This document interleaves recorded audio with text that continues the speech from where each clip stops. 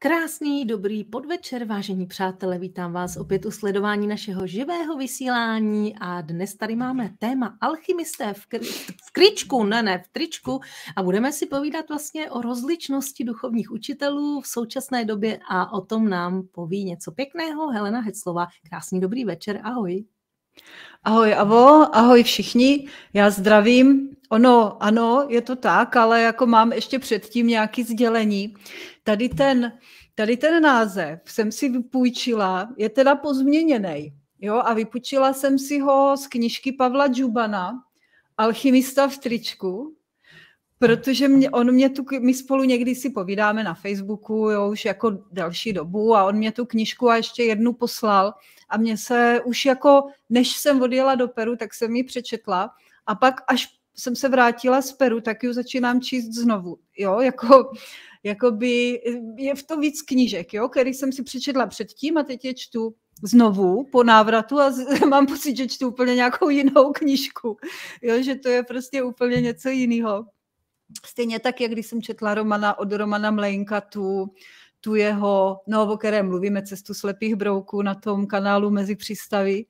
No a taky jako mám pocit, že to je jiná knižka. No a tady tahle ta kni- v téhle té knižce je napsaný, nebo uvědomuju si, jak vlastně, eh, jak my naděláme s tou transformací, ale přitom, přitom je spoustu lidí, všechno máme, všechno jiné informace máme, všichni, jakoby je spoustu lidí, spoustu průvodců, kteří taky jako vědí, jo, jako tam všechno, co potřebujeme pro tu záchranu, máme už od dřívějších generací a teďka vlastně jako spoustu lidí načítá nové informace. Takže já bych řekla, že všechno víme a přijde mě úplně zbytečný tady něco vykládat.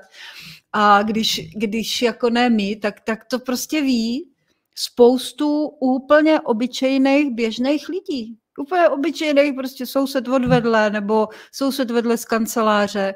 Jo, takže těm by se dalo říct ti alchymisti v tričkách.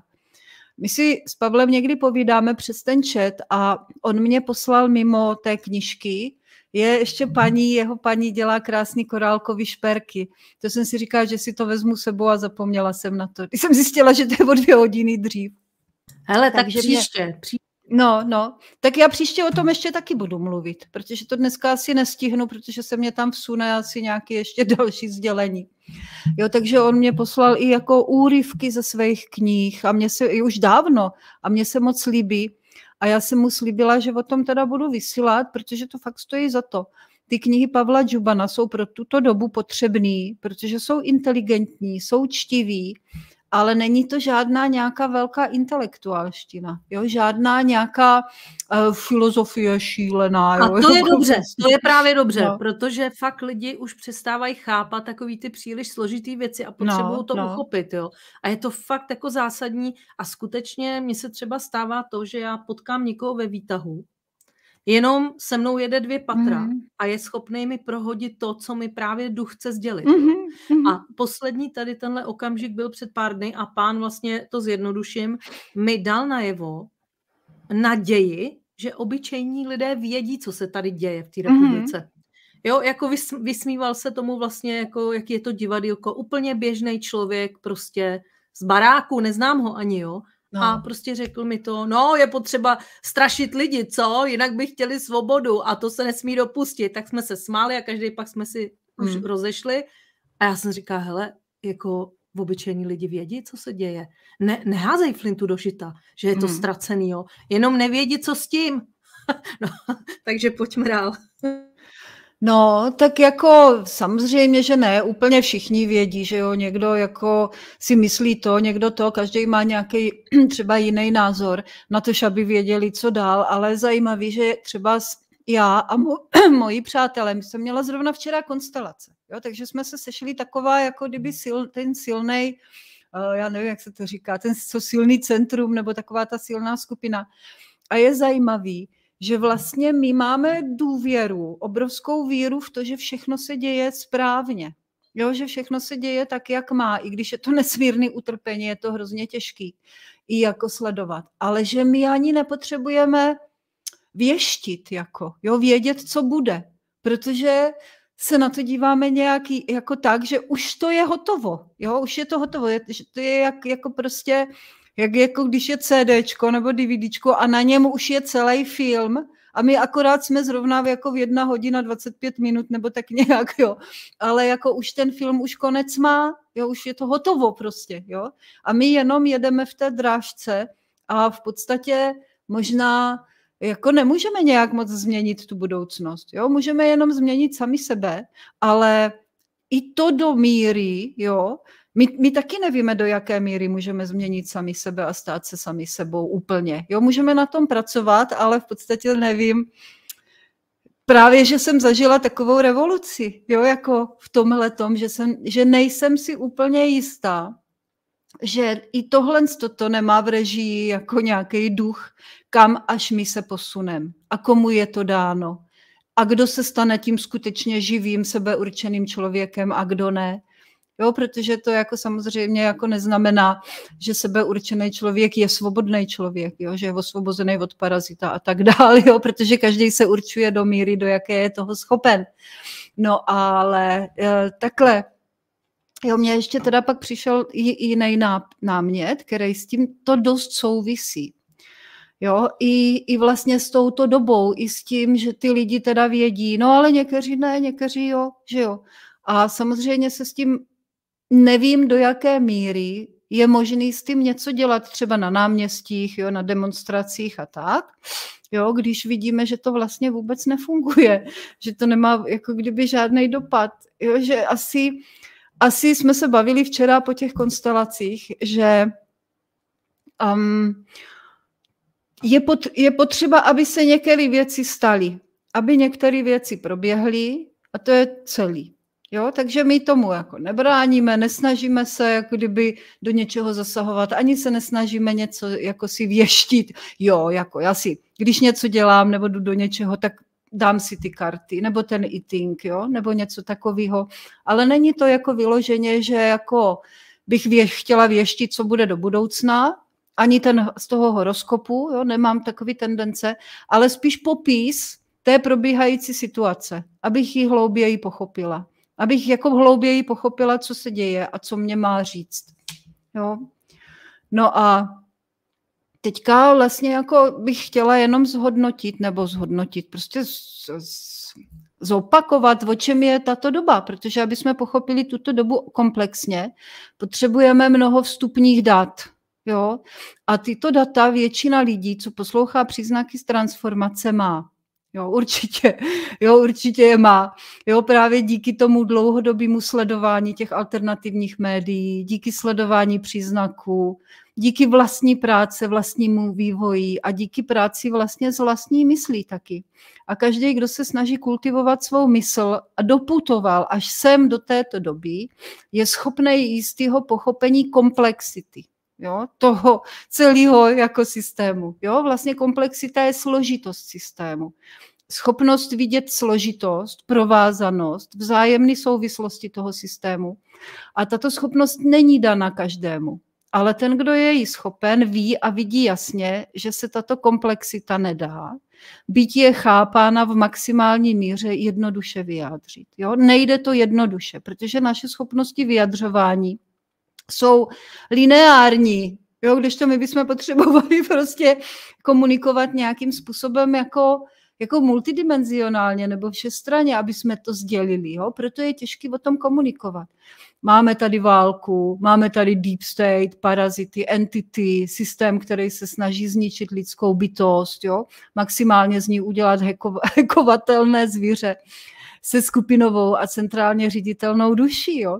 Byrokratický systém tady máme, který samozřejmě napomáhá těm, kdo ho řídí proti těm, kdo je financují, což jsme my, že jo, proti obyčejným lidem. Takže lidi jsou přezaměstnaní a nemuseli by. Třeba my máme soláry. Jo, máme solární, když jsem byla v Peru, tak manžel dal soláry na střechu, protože aby se mu neskrátili žíly bez země, že? No a tak jako my teďka vlastně zažíváme to, že, že ta elektřina, kterou my jako bereme, je ze slunce. Jo, to je jako hrozně příjemný pocit. A zjistila jsem, nebo myslím si, že takhle to bylo třeba v té Tartárii, že oni normálně užívali energii, jo, jako byla to pro ně jako volná energie, protože tam měli takový ty stavby s těma věžičkama a to, jo, a jako je převládající názor, že normálně měli volnou energii, že, že si jako čerpali a neplatili za to a tak a bylo to všechno v pohodě. Ale teďka my makáme jak barevní, aby jsme na to vydělali. Jo? A nikdo by nemusel tolik pracovat, jak pracuje. Vůbec nikdo. Je to jenom kvůli tomu, aby z nás byla ždímaná energie. A taky kvůli tomu, aby byly traumatizovány děti, protože maminky chodí do práce a všichni jsou, kromě mála výjimek, který pak celý život se s tím traumatem vyrovnávají. Každý svým způsobem. Takže tento systém dle mýho stojí na zneužívání dětí ale na zneužívání jednoho druhým. Tak to prostě je, jo, ať se na to dívá člověk jakkoliv, vždycky tam skončí. Protože já mám třeba v terapiích lidí, kteří roky, roky, roky řeší jeden a ten samý problém. Jo? Prostě ze všech stran. Jo, je třeba jeden problém, nějaký trauma z dětství, který se projevuje v celém životě. A neustále se na to naráží. Takže já bych řekla, že tento systém stojí na traumatizaci dětí. Je to na tom postavený, na poruchách, na využívání vlastně energie těch traumatizovaných lidí. No a ty lidi, kteří chodí do práce, co si bude, jsme se o tom trošili linku, než se mě to všechno podařilo tady uspořádat, bavili s Avou, že ty lidi, kteří chodí do práce, to mají strašně těžký. No. Že vlastně nemůžou procházet tou tra- transformaci tak, jak lidi, kteří si můžou vlastně určovat sami, co mají dělat, jo? nebo si určují sami, jak stráví svůj čas. Na druhou stranu nevím, jestli jsou tak hrozně jako unavení jako my, co, co, co jdeme do té transformace naplno. Takže teďka se děje ve zkratce asi následující. Kolem roku 2011 nebo 12 vyměnili kluci tam nahoře ty diáky nebo diskety a jsou tady jiné energie. Jo? Devátá vlna, jo, už jsme si říkali dávno, nová země, každý jak chce. Spoustu lidí tu novou zemi už normálně jako vidí, tvoří, jdou za ní, jo, a už jako kdyby jako vytváří tu, um, už, už ty staré energie to neumožňovaly, jo, ale ty noví umožňují vytvářet si tu novou zemi, ten nový vesmír. Jo, jako kdo to vidí, kdo to vnímá, tak zatím jde i když je, teďka jsme ve velice takové obtížné přechodové době, takže je to těžký. Jo, je to hrozně těžký pro ty lidi, kteří opustili ten systém, pro ty lidi, kteří opustili ty zaměstnání a dělají vlastně, tvořejí to nový. No a ty staré energie, které umožňují ten parazitický systém, prostě ubývají. Jo, já to jakoby takhle vnímám. Přicházíme pomaličku přes galaktický rovník a světlo přibývá. Jo, je to tak, jako s tím se nedá nic dělat. Jo, s tím se prostě nehne. Jo, je, bude to světlo bude čím dál tím víc přibývat. Akorát, že jako někteří dříve narození už si to tak neužijou. No a někteří lidi to vnímají a vidí a tvoří si tu novou zemi v souladu s duchem. To prostě tak je, to vidím kolem sebe, oni mě to říkají a je provázím třeba v konstelacích nebo v terapiích. Je to tak, sama to jako dělám. A parazit se brání.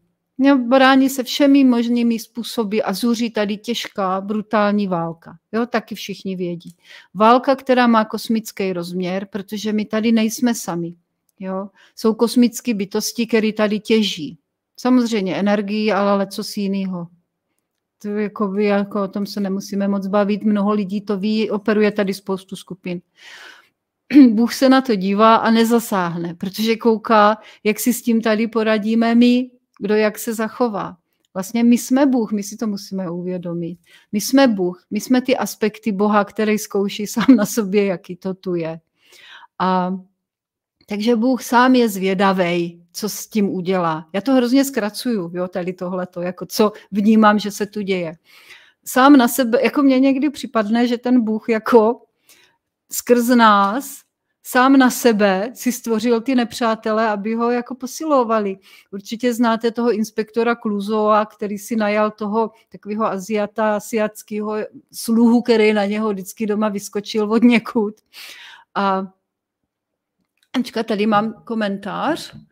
Můžeš mě dát informaci, kde se kniha Romana Mlenka dá ještě koupit? Nemůžu ji nikde sehnat. Děkuji ti moc. Já mám na svých, eh, na tom kanále mezi přístavy pod každým videem jeho uh, e-mailovou adresu. A ta knižka se dá koupit u něj. On vám ji pošle. Když mu napíšete, tak vám knižku pošle. Jo, jako jinde ne, on to zatím nikde do distribuce nedal, ale pod každým videem, co s Romanem mám, se dá ta knižka koupit. Jo, je, teda, je tam ta adresa, kde se dá knižka koupit. A jinak my máme s Romanem Mlenkem mít v Rovensku u Zábřeha besedu. Jo, budeme, bude to nějaký náš společný rozhovor nebo společná beseda, takže srdečně zvu. Je to v Rovensku u Zábřeha penzion Sipka. Takže já budu pokračovat. Takže parazit chce udržet ten starý svět, ale jako je to marný, jo, protože ta evoluce je nezastavitelná. My jsme ale v průběhu boje a nevíme, v které zrovna fázi jsme, jak v té drážce té desky. Chceme novou zemi. Každý má vlastně nějaký úkol a snažíme se jít ku předu, ale ten parazit nám brání, skáče na nás a napadá cokoliv, cokoliv, co je nosný a co je to pravý. A podporuje všechno, co nás od naší cesty odvádí. To každý taky, my si myslím, že každý ví. On maká na všech úrovních, hlavně na duchovní, ale i na informační, fyzické a politické. Prostě maká. Máme tu třeba i řízenou opozici, jo, jako když si to vezmu, kolik informací člověk, nebo kolik času člověk stráví, aby hledal informace o politickém dění, ale pak zjistí, že to je vlastně jako všechno řízená opozice. A že ta skutečnost, v níž se lze i politicky pro běžného člověka velice těžko orientovat, tak jako nám zebere ta orientace strašně moc času. Já teda jako musím říct, že sleduju, co se děje v politice. Každý den chvilku jsem na tom telegramu, po, po, pozbírám zprávy ze svých oblíbených kanálů, na Facebooku už ne, na tož na seznamu nebo na takovej. Jo, jako jenom si každý den udělám trošku takový zhrnutí, co se zrovna děje, abych měla jako po všechny přehled, ale vůbec se tím už nezabývám. Já jsem dřív mluvila hodně o politice, ale teď, teď to jako, já to prostě takhle mám zhrnutý, jo, tak jak jsem to řekla a tak si to prostě mám vyskládanou takovou mozaiku a podle toho jedu a pracuju a už to je, hm, tak nějak moc nepotřebuju. Vědět, co se přesně všechno děje. Protože vlastně my se můžeme bavit jenom o jednotlivostech, jo? O, o těch jednotlivostech, které můžeme v té jednoduché komunikaci pojmout. Jo? Každá přednáška se potýká s tímto problémem. Že vy to ho nemůžete říct jako kdyby mnohoúrovňově. Furt musíte někde začínat a pokračujete, pokračujete. A je těžký vlastně sdělit to, co ten člověk má v sobě. Jo, to, co člověk má na mysli, ale i v ostatních jako vrstvách té své reality. A každá přednáška se s tímhle problémem potýká. A teď problém je ten, že parazit se projevuje přes mysl a slova asi nejefektivněji. Pořád to u sebe sleduju, jak čím dál obtížněji se mně vyjadřuje to, co vnímám a jak to mám vlastně a co dělám. Jo? Tady tohleto vysílání je o, pochybnost, o mé pochybnosti taky trochu. O tom, že lze vyjádřit vůbec ta realita nějakým způsobem a že já můžu vyjádřit co, vůbec nějakým způsobem, co se u mě děje. Jo, tak to je jakoby jedna věc, jo, proč já o tom tady mluvím, protože mně se zdá, že to s komunikací, s tou jednoduchou komunikací přes ty slova, písmena a věty je čím dál horší. Jo, je to jako, tak jak Ava říkala, ty knížky, které jsou napsané takovou tou intelektuální filozofickou řečí, jsou už často pro lidi naprosto nečitelné. Já se hodně často bavím s lidma, s kterými se cítím tak nějak zpřízněná a s kterými si rozumím ať jsou to klienti, přátelé, lidi z obchodu nebo z různých provozů. A všichni se shodují na tom, že se jim zdá, že se lidi zbláznili. jo, že jako, jako se nedá úplně normálně už komunikovat teďka, že se lidi nechápou, nerozumíjou si, že buď my jsme se zblázni, my, my, jako, anebo někdo jiný, protože nějak se dorozumět je čím dál tím těžší. Jo, a neříkám to sama. Normálně bychom řekli, že lidi blbnou. To je jako, jako prostě normální vysvětlení. A že schopnost používat nějak zdravě své mysli, těch mentálních schopností prudce klesá. A lidi řeší nesmysly. Jo? Typu, na kterým fochu má být v ledničce máslo třeba, jo, nebo prostě blbiny, jo, nebo manžel mě říká, co vyvádí lidi v práci, jako, jo, co si tady dělají, jo.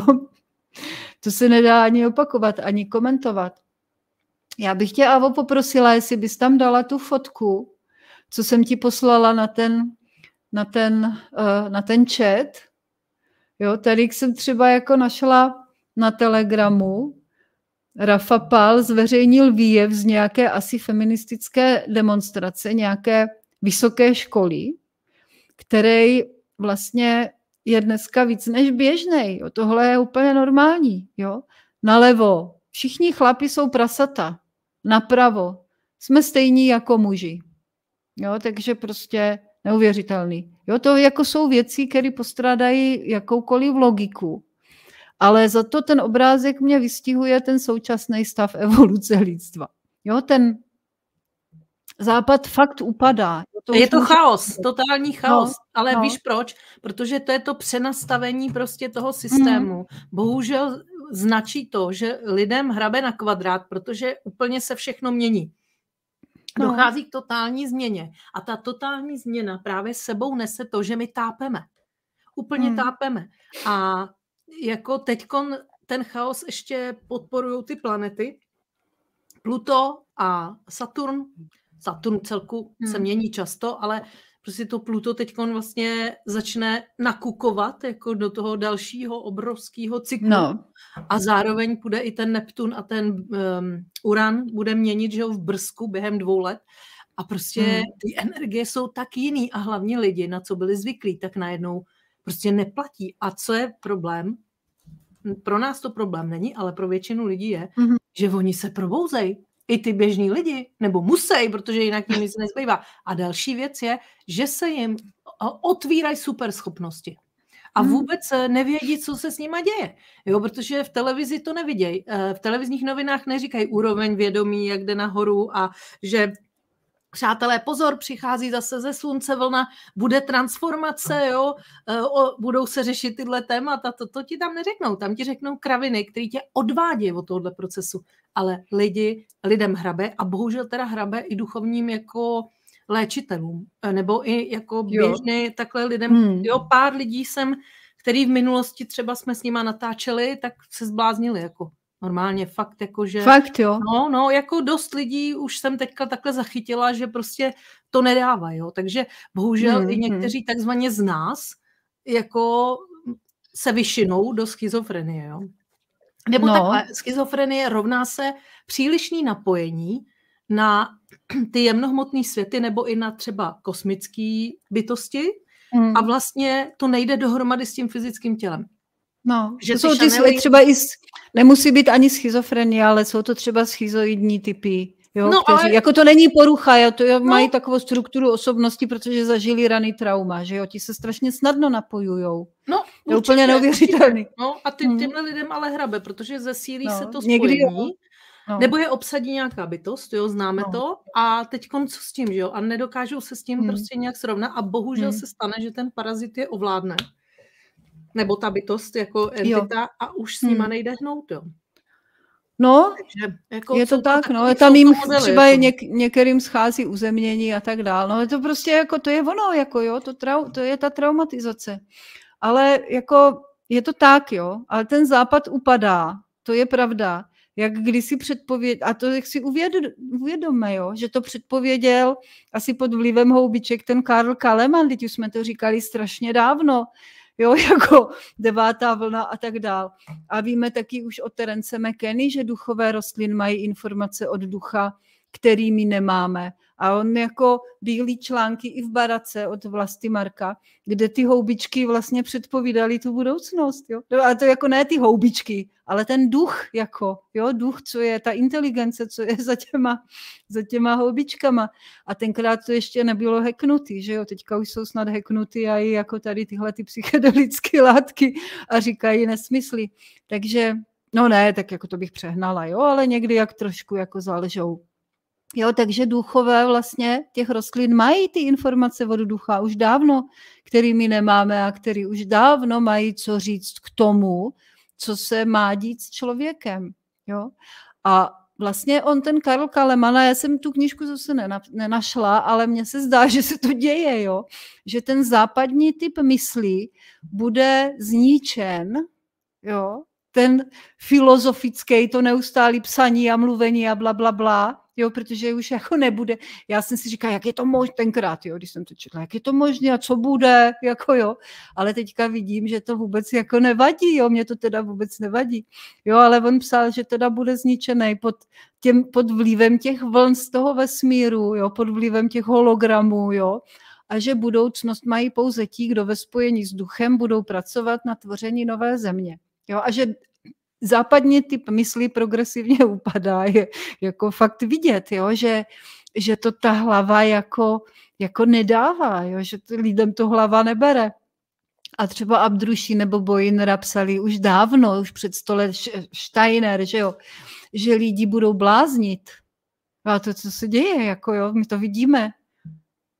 Jo, plně, no, jako úplně normálně, jo. Už jsem to tady taky komentovala kdysi a četla nějaký úryvky, co oni psali. No a Steiner vlastně psal ve své knižce Janová apokalypsa, ale na to mě upozornil Manuel ze školy průvodců, že bude probíhat něco, nebo probíhá něco jako válka ega proti egu.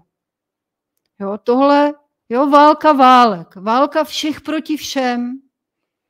Jo, já bych chtěla tohleto, o, o, o tomhle teďka mluvit. Jo, protože mně se to děje, jo, já jako, jako nemůžu tomu uvěřit, co se mně děje. Ale jako má být válka válek a to znamená, že falešný ego by mělo být kultivováno, kultivováno, parazit v té mysli rozpoznán jako en element manipulující naší myslí ve vlastní prospěch, tedy ve prospěch parazita a mělo by konečně vyrůst pravý zdravý ego, který může a umí komunikovat s duchem a taky to dělá a spolupracuje s ním. Jo? A ono se toto všechno děje jako prostě dotvrzuje to tu pravdivost toho, co ti staří mistři, kteří dokázali nahlídnout do budoucnosti, jako psali, už nás varovali. A tady ta válka ega proti egu. Každý, kdo mě zná, tak ví, že jsou úplně vyrovnaný, harmonický, nekonfliktní člověk, jo? že jsou prostě v pohodě, že po, vytočit mě dá jako obrovskou práci a nemám problém a nehádám se a tak dále. Jo? Takže mě teď přijde, jako kdyby jako i lidi útočejí hodně na mě, jo? i když jako kdyby nemají vůbec v podstatě žádný důvod. Jo? Ale jak kdyby bojovali a startovali všichni proti všem. A to se stupňuje. A povídají mi o tom klienti a lidi právě i ve skupině. A jsou to jejich autentické prožitky taky, jo? že se hádá, že se, že se prostě ty lidi hádají neuvěřitelným způsobem. A já taky mám dosti takových prožitků, kdy prostě ty lidi proti mě startují z mě prostě absolutně nepochopitelných důvodů. Co jsem taky ještě vypozorovala, to bych Avuš se tě zeptala, nebo i jako eh, tady diváků taky, je nějaký určitý nedostatek energie. Jo, že jak kdyby bylo strašně málo energie. A my si říkáme, jo, to není jenom jako já, jo, ale bavím se s lidma tak různě, jo, jako po světě. Jak kdyby byla energie pro Evropu, potažmo pro tu naši zem, asi nějak blokovaná, jo, ze zhora.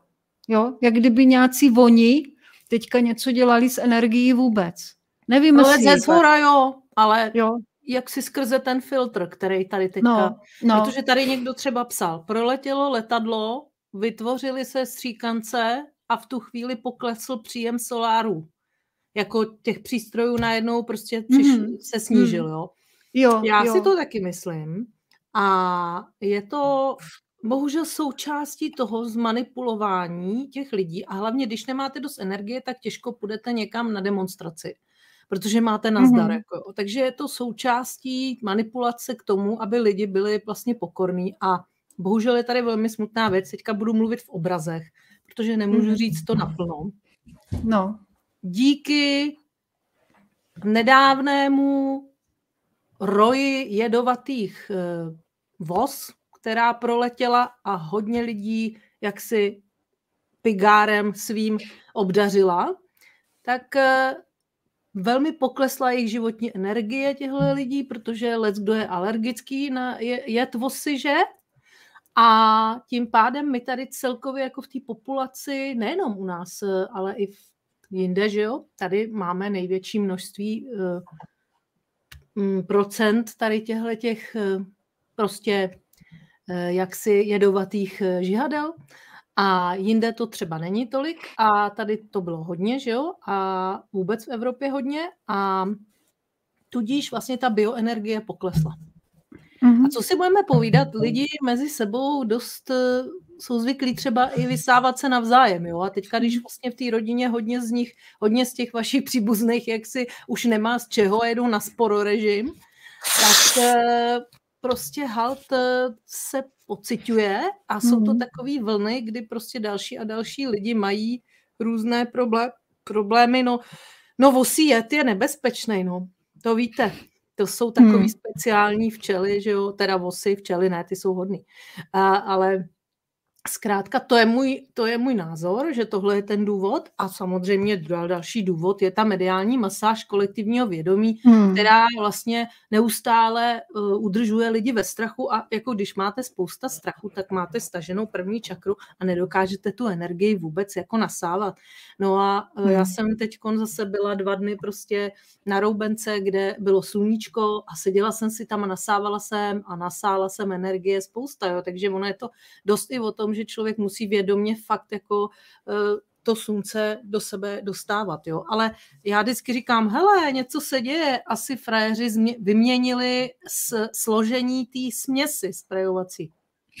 Víš, jako, že teďka zase něco jiného tady probíhá, takže máme zase utrum. Než si na to hmm. zase vytvoříme rezistenci a zase už budeme nasávat, jo. Ale já si myslím, že lidi, kteří jsou na určitý vyšší úrovni vědomí, že dokážou i přes tyhle bariéry, jenomže to není většina, to je malý vzorek, jo. Hmm. A většina lidí je absolutně odpojená od ducha, jako absolutně a snaží se jenom přežít a chápu to docela, jo. Hmm. Takže to je můj názor, jo, protože strach jo. rezonuje plus jako uvědomme si to, jo, protože uh, díky tady těm alergickým reakcím na jedovaté mm, píchnutí od vosy, eh, ta bioenergie opravdu zeslábla a eh, když ten člověk, co si budeme povídat, nemá dostatek síly, tak nemá sílu na odboj, nemá sílu vůbec na nic. Jenom pokorně prostě jako ten to skrocený zvíře jde na tu porážku tam, kam ho vedou, protože už ani nemá, vlastně má toxiny e, na šišince, e, tak ani nemá sílu napojit se prostě na pravdu a ani nemůže vidět. Jo? Takže hmm. tak, no. To je důsledek toho, jako, takže tak, no. Hmm, já bych teďka odpověděla na nějaké komentáře, co tady jsou.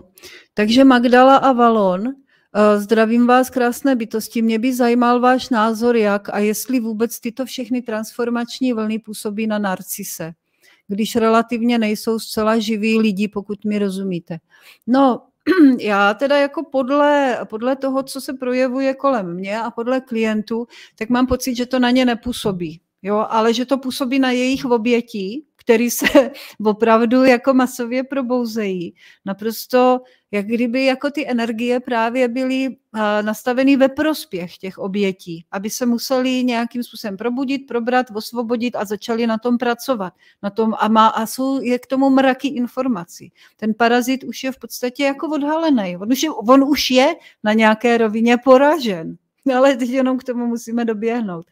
No ale mám pocit, že jako teďka ty lidi, kteří žijí s narcisama, se daleko, sn, daleko ne snadněji, to je špatný slovo, ale to je problém s těma slovama, že se probouzejí, že se osvobozují, že se řekněme, snáze rozhodují, bych to tak řekla, že s nima třeba nechcou nic mět, že s nima nechcou jako ani bavit, ani kontaktovat, ani nic. Předávají si informace o tom i navzájem. To slovo narcis je úplně běžný ve slovníku, jo, jako teďka úplně normálních lidí. Takže ono to není jako narcis je agresor, že jo? I když je to třeba inverzní nebo pasivní narcis, vždycky je to agresor. A ta, eh, ta nutnost nebo ta povinnost se osvobodit je na obětech. A často vidím i na obětech určitou aroganci nebo určitou, že oni vlastně jako tím nějakým způsobem benefitují na tom, že jsou oběti, že jsou třeba někdy na to jí píšný jo, a tak jo. Takže osvobodit se na tom, na, na, to, na to je na obětech.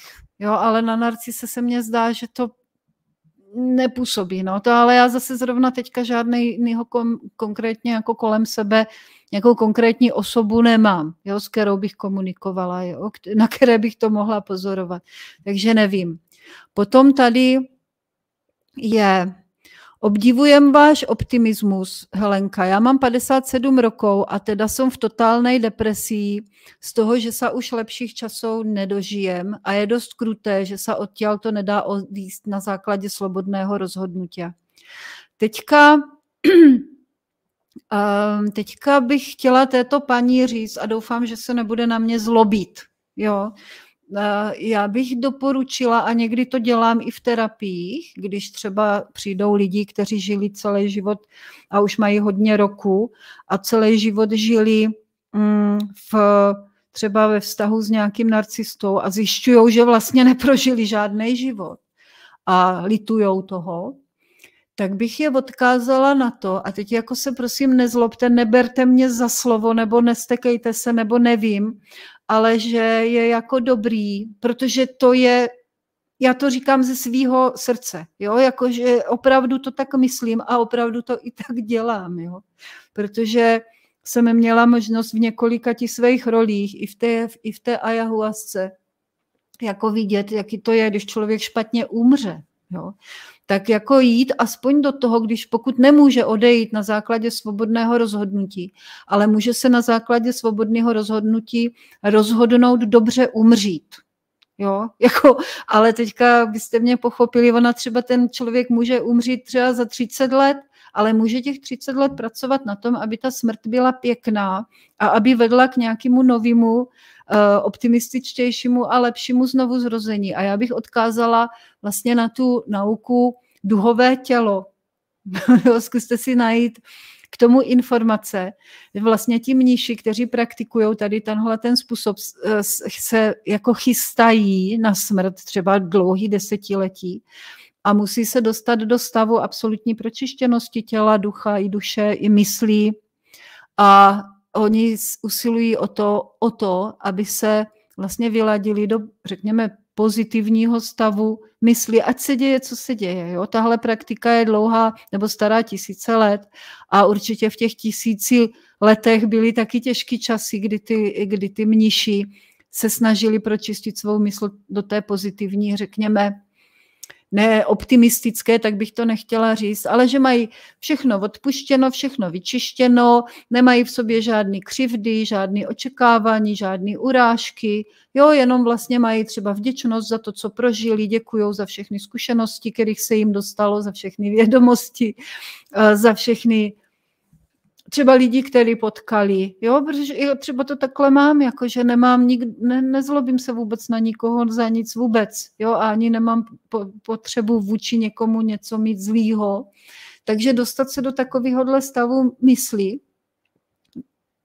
a může to být hodně příjemná duchovní cesta. Jo, a může taky opravdu skutečně mít za následek, že ten člověk dobře umře, a tím se i jako znovu dobře narodí, řekněme. Ale že taky může prožít zbytek života příjemně, jo, pěkně, v do, v, jako kdyby do, jít dobrou duchovní cestou. Jo, já nevím, jestli je to takhle, jestli to takhle stačí. Ale já, ještě... já to dělám, jako jo, já to neříkám jenom tak. Jo. Ale ještě k tomu, jako mm, opravdu je zapotřebí, aby jsme se pokusili hledat v tom životě ty hezké věci a fakt přestali sledovat tu televizi. Jo. Protože lidi hmm. jsou na šlubky hlavně, hlavně proto, že prostě do nich furt cpou tyhle ty hovna, jo. A přitom, když to nesleduje člověk, ani ty média, jako myslím, ani třeba nechodí na seznam a takhle, jo, tak je do, docela v pohodě relativně, jo. Prostě je potřeba si to trošku prostě jinak jako hodit, prostě jinak se na to dívat. Ale teďka jsem před vysíláním sledovala jednoho kluka, který eh, dával k dobrému, eh, k lepšímu takzvaně recept na takový smutý, který vám uh, odvede těžký kovy vlastně z mozku a léčí tím depresi. A to je docela taky zajímavý, že možná i tou stravou, i třeba cílenou detoxikací těžkých kovů z mozku, což umí třeba koriandr, plus další věci, prostě dostat, protože ono to může být i na chemický úrovni tady tohleto, že my pořád padáme jako třeba do, na úrovních vědomí. Jo. Takže já bych dokon, doporučovala se zabývat i třeba tím, co jim a jak žiju, eh, jako co se týče té tý životosprávy, protože fakt tohle to může hodně pomoct. Jo. Ale já vždycky říkám poloplná, poloprázdná sklenice jo, člo, a vděčnost i na, za to, že mám postel, ve který můžu spát. A co to je vůbec za blbost, že se už nedožiju lepších časů? To vůbec není pravda. Kdo to říká? Teďka právě se mění to paradigma a i druhá světová válka taky netrvala prostě 20 let. Jo, trvala pár let, dejme tomu, jo.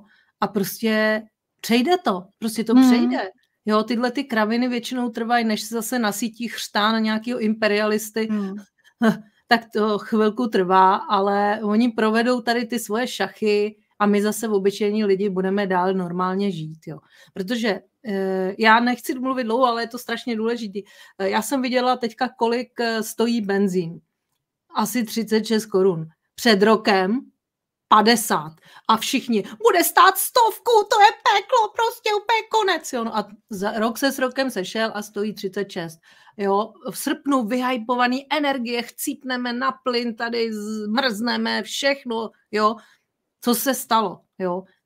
Už teďka v únoru začal E.ON nabízet zase elektřinu mnohem níž, než je ten strop, který uh, doplácí tady Fiala jo, za nás.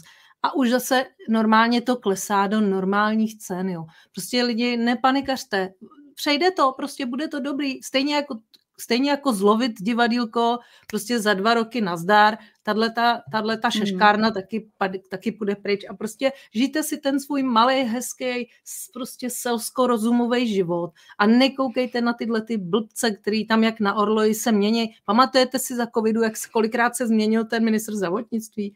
Vždyť to je šaškárna. Je to divadilko a šaškárna. Kašlete na to prostě a opravdu žijte si pro svoji rodinu, pro sebe a dělejte si hezky. Já si myslím, že by si se mnou takhle asi souhlasila, ne, Helčo, že... No tak jasně, ale takhle, jako pro mě to... přijde prostě časem pro mě je to jakoby náročný se vžít do takové, jako do takového stavu, protože já si žiju ten svůj život. Jak tady někdo říkal, no. že nemáš kolem sebe žádného narcistu. Já prostě žiju svůj život, já skoro vůbec nepřijdu do, do styku s tím Matrixem. Jo, jako možná třeba na letišti nebo na, na nádraží nebo tak, jo, a to si ještě někdy třeba i pěkně užívám, ale, ale já jsem v, fakt v jiné realitě. Jo, takže já ale vůbec nemám jako... nádraží, nebo letiště, nebo finančák. Tady ten Matrix totiž není tady v tomhletom ten Matrix je v těch médiích. Ty no. šaškárny, jo, to nás zlobí, ale jinak na finančáku potkáš slušný ženský, který ti poradí, na nádraží prostě pomůžeš někomu s taškou a tam jsou normální lidi, hmm. jo. Ten Matrix je jenom ta virtuální šaškárna v té televizi a tyhle věci, které, jako tady, pokud mluvím tady, jo. Sam nemluvím o lidech, kteří umírají na Ukrajině, jo což je neodpustitelný samozřejmě, jo. Ty vojáci tam a chudáci jsou ty lidi, jo. Ale bavím se teďka tady o našem prostoru. To je virtuální vlastně No, já jsem chtěla říct, že jako prostě jako ne, nemám z toho depresi, protože žiju jako já, třeba jako hezký život, moji přátelé žijí, jo, a tvoří tu novou zemi. My už na ty deprese nemáme čas, jo, jako nemáme, praktikujeme, jo, což vlastně jako nám způsobuje to, že, že nemáme ty deprese a tak dále, že žijeme v té multi třeba dimenzionální realitě a tak dál, jo. A ona i ta, ta mm, technika toho duhového těla, když ta paní se do toho jako pustí, tak ji to spraví, jo, jako zjistí spoustu věcí, jo, že už jako nemusí mít tu depresi. Ale jako taky je samozřejmě dobrý nějaké jako klinické vyšetření, jestli to není nějaká jako opravdu nějaká chorobná forma, Jo, a takže já jako jsem, mm, jako si neříkám, přejde to, protože pro mě nemá co přejít, jo, já jsem jako v pohodě, jo, abych tak řekla, jo, jenom trošičku té, mín, té, mín té energie, jo. Právě vidím spíš ten, tu novou zemi, i mám kolem sebe tu novou zemi, než abych byla jakoby v tom starým, jo, je tomu rozumět. Ale mluví o tom lidi, že prostě se trápí v tom Matrixu a tak dále. To ještě budu jako říkat. Ale zdravím Pavla Džubana, koukám, že tady je jako autora té knihy, na kterou teď došlo. Takže zdravím, děkuju. Takže já budu pokračovat, jo, jako ještě o té únavě, že prostě nevím, jestli parazit nebo druhá strana, protože víc lidí mě hlásí zajímavý stavy. Jo, a já to pozoruju, jo, zase ne, nenechám se z toho jakoby jako zahltit nebo naštvat. Ale je to třeba mlha v hlavě, jo, že třeba jdu jako psat si to vysílání chystat a prostě mám mlhu, jo. Jako před chvílinkou jsem to já už jsem se začala namlouvat na telefon, protože jako, když to mám v hlavě a chci si to napsat, tak pak to nevím, jo, jako jak ten parazit prostě funguje, účinkuje. Neschopnost akce, Jo, ty lidi nemají do ničeho chuť a dokonce ani do toho, co skutečně chtějí dělat. Po čem vždycky toužili. Jsou jak zpomalený film, cítí takovou šílenou nicotu, jak kdyby je pohlcovala. Jo, pocit, že nic nemá, to, to říkám, co říkají klienti, jo, že nic nemá stejně smysl, protože je to silnější než my a co my s tím, takový kosmicky bezvýznamný nic, naděláme. Jo, sice můžeme trošku nakouknout na tu druhou stranu a vidět ten mechanismus, jak ten Bůh třeba to světlo skrz nás testuje ten vesmír, zkoumá, jak si poradíme v této situaci a kdo co udělá. Teď lidi říkají třeba, ale já ty lidi znám a vím, co dělají, vím, co tvoří. Tak když říkají, že sice mají čas, vědí, co je baví, tak ani do toho nemají chuť a energii. Jo, vůbec do to, ani do toho ne, nepustějí. Jo, nemají energii ani na to stisknout tlačítko sdílet na Facebooku, jo. To už se mě ani taky nechce, jo, vůbec. Jo, neva, nebaví je třeba ani takový to čistý, radostný tvoření. Prostě není energie. Jak kdyby to pro lidi nemělo smysl a ti, co chodí do práce, jsou jak zbítí a po práci okamžitě spí a mají pocit nesmyslnosti života. Jo, já se nedivím třeba těm depresím, protože oni říkají, já chodím jenom do práce a pak spím, jo, vydělám na to, co musím a pak jsou zase bez peněz. Tomu se říká otroctví. Jo? Když nám otrokář nechá jenom tolik, aby jsme měli na přežití a nic víc. Jo? Takže to je to jako opravdu těžký. Jo? Ale to jako není jako jenom o mně, jo? Ale, ale říkají to klienti. Jo? Klienti, že to tak mají, který já znám. Jo? A takže ty většinou jsou třeba lidi, kteří jsou kreativní, kteří už jsou mimo systém a tak dál a mají tady tenhle, tyhle ty stavy teď taky. Jo, takže já jsem mm, v reakci na to, jo, chodím teda hodně do přírody, protože chci tu energii taky nabrat, jo, ale jak kdyby to, jak kdyby to nešlo, ale, ale reaguju na to tak, že to teda přijímám, jak to je. Chodím ven, sbírám zvuky přírody, jo, nahrávám si ptáky a zvuky potoka a listí. Jo, a to mě nabije vždycky a nebo dělám cvičení, co mám ze školy, jo, ale fakt je, že teda člověk přijde domů a pak je to zase hnedka pryč, protože tam je to pole, jo, možná je to, to vyzařování těch mobilů a vyzařování těch Wi-Fi, který to jako zase spotřebujou. Ale já dělám obyčejné věci, jo, takový to přežití, jo, takový to mm, nemyslím, jo, jako jenom jako jsem, a v tom je mě ku podivu dobře. Jo, obyčejný, normální věci, netrápím se tím, co se děje. A konzultovala jsem, to je taky zajímavý, konzultovala jsem to s pár lidma, kteří uh, zrovna předevčírem, ale i dneska kvůli vysílání, jo, ale i kvůli zase sobě, že prej, že jako uh, s lidma, kteří chodí na ty energetické místa a zkoumají to, jo, protože je to zajímá, zkoumají, jestli jako to je jejich, nebo jestli je to jako obecný nějaký z vesmíru a říkají, že vlastně energie jako na, ani na těch energetických místech neteče prej, jo? že to neplyne, neplyne prostě, není. To znamená, když jako není na energetických místech, tak potom je to něco většího.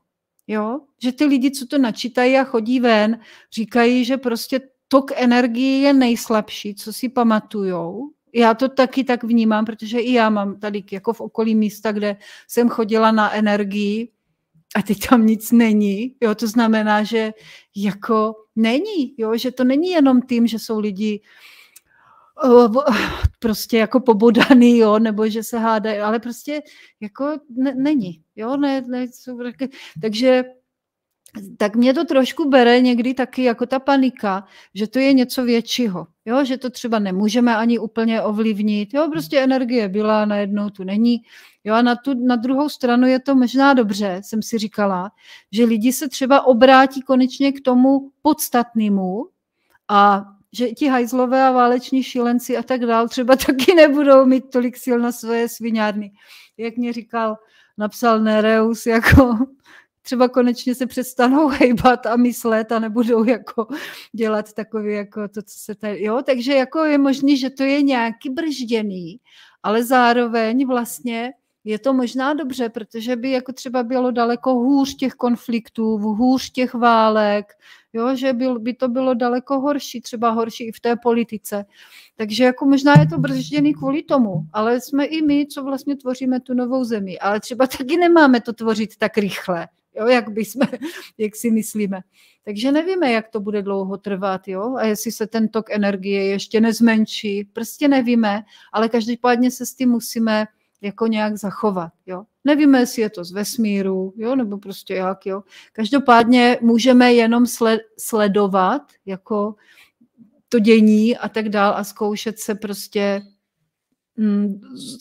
zůstat na té vlně. Jo? Nestresovat se obavama z, z budoucnosti, nenávistí, rozdělením lidí. Jo? Jako nestresovat se tím a prostě snažit se to nějak jako, jako přežít. Jo? Jako to, to, tak asi. Tak my jsme to dokonce trošku řešili i na konstelacích, protože mám pár takových případů, kdy lidi z různých důvodů, ale nakonec řeší to, to tež, jako jo.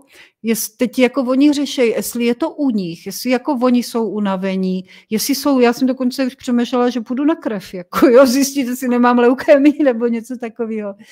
Jo, protože taková ta, nechuť, nebo že nemáte ani tu, jak řekl kamarád, vstupní energii do toho začít něco zajímavého, co vás vždycky dřív bavilo. Jo, takže řešíme, jestli je to něco obecného, většího, a nebo je to jejich, jo, nebo je to v rodu, jo. Takže v několika těch případech jsme došli k docela zajímavému výsledku. Jo, i s klientama, i já jsem to řešila asi před měsícem, že vlastně je to tahle situace, která vypadá úplně strašidelně a hrozně, jo, že není energie a že nemáme energii ani na to tvoření, ani na to, co nás baví, že vlastně vede k tomu, že člověk se vlastně, že to jako nějakým způsobem podporuje to, kdy člověk se má stát tím, kým se stát má, aniž by se mohl o cokoliv opřít. Jo? tohle to nám přišlo, tohle to vlastně přišlo i mně, jo, že jako kdyby nám bude i ta mysl vzatá, jo, i to tvoření vzatý, jo, že jako fakt, fakt nebudeme mít na nic sílu, než se stát tím, kým se máme stát. Jo, Jo, takže nám může vzít díky té energii, nedostatku energie, i to dělání, i to tvoření, i to, co máme rádi. Kolikrát i společenství lidí, co vlastně jako má ten člověk rád, mu může být vzato. Protože lidi kolikrát nemají sílu ani chuť spolu nějak být, jo, i když to je východisko. Jsou-li spolu lidi, kteří jsou spolu rádi, energie se násobí a na nějakou dobu dokonce i vydrží. A když jsem mluvila o tom ve svém pořadu s Romanem Lenkem, že já jsem ráda s tím, kdo je rád se mnou, jo, s tím tvořím. Takže to u některých lidí bylo přijatý s rozpakama. Dokonce mi bylo vyš, vyčteno, co jako na to manžel můj, jo, že, že jak to můžu tak říct, jo, že jsem s někým jiným, s kým jsou ráda. No a tak jako jestli se nezlobí a jak to cítí. No a to jsou ty staré programy, jo, to je ten starý svět. No tak já cupkala za manželem, jo, říkám mu jako hele, jako jak to máš, jako je to pro tebe problém, když veřejně řeknu, že jsem s někým ráda a že jsem ráda, že jsem ráda, když on je se mnou rád a že to ještě řeknu takhle veřejně. A on tak na mě koukal a prostě vůbec nepochopil, jako proč by to měl být problém, jako teď on to ví. A navíc on je z rodiny, kde je jich jakoby víc hodně a všichni jsou spolu rádi.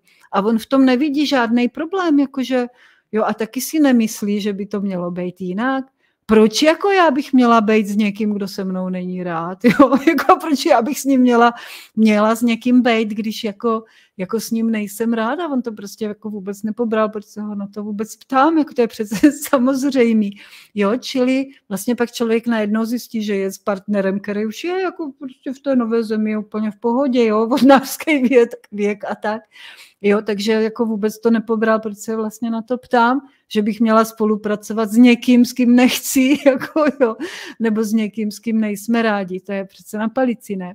No a být s někým, kdo je s námi rád a není s náma jenom proto, že z nás má výhodu, že nás využívá, že vlastně třeba zrovna chce být s někým jiným, nebo někde jinde, nebo kvůli něčemu jinému, tak to je dneska prostě energetická nezbytnost. Jo? To není nic sociálního, jo? žádný sociálno, žádná stádovitost, jo? jakákoliv jiná forma společenství, než když jsme spolu rádi, nás vyčerpá víc, jo? protože je válka válek je ego proti egu. Takže jako když je tam někdo jo, v té naší společnosti, s kým rádi nejsme, tak logicky tam potom dojde k tomu konfliktu. Jo, takže proto já to vlastně jakoby říkám a zdůrazňuju. Buďme s tím, kdo, jsme, kdo je rád s náma, protože je to energetická nezbytnost teďka v tuto dobu. Jo, proto o tom mluvím. Jo, tam není tam nic jako zákeřného zatím, jo, nebo něco jako v pozadí. Jo, že vlastně o tom to je, o tom mluvím ono se ukazuje v téhle situaci, kdy ty vlny a tak dál a ty energie, jako já si myslím, že energie třeba jako jinde je dobrá, jo, já se zkusím zeptat Manuela, jestli, jak, jak to je v Peru, jo, a tam si myslím, že určitě energie je, protože je tam příroda, je tam to hodně, že jo, jako a, a džungle a stromy a zvířata. Tady je to těžký, když tady z toho udělali savanu, jako všechno vykáceli, takže je to jako prostě z toho energii i tak jako horší.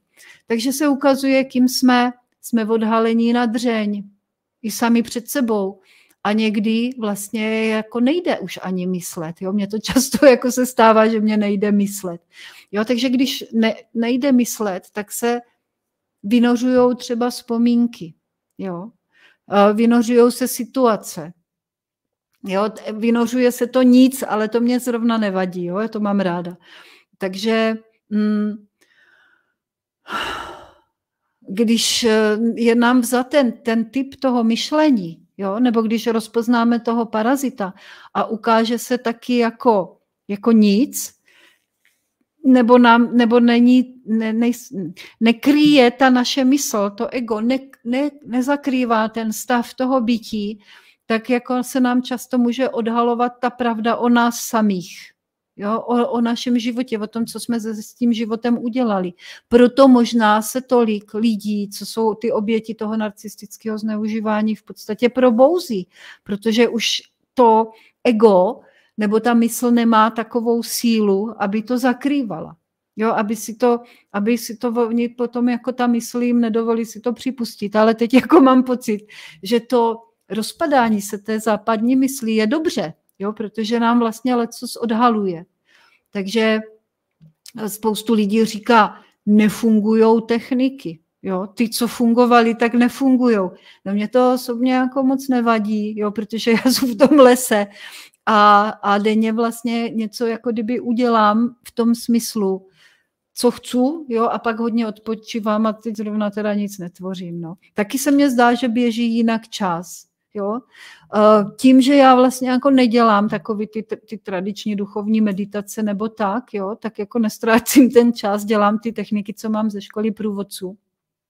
Jo, ale je to, prostě pořád mám pocit, jak kdyby jsme byli fakt ořezaný na úplný základ.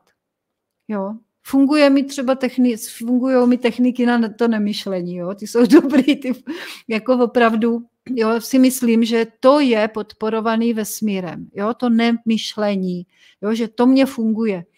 A všimla jsem si taky, možná mě někdo třeba jakoby bude rozporovat, že ti myslivci takový, co myslíjou, jo, co mě chodí do těch terapií, co jako jim furt nejde jako nemyslet, tak ti mají těžký časy, protože oni myslí a myslí pořád na ty problémy.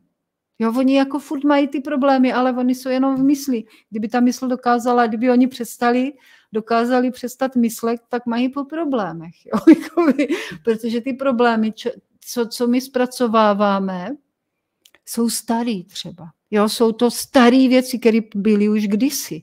Jo, a tím, že jako oni na to furt myslí jo, a nemůžou si pomoct, tak, tak furt udržují ty problémy a ještě to je vyčerpává.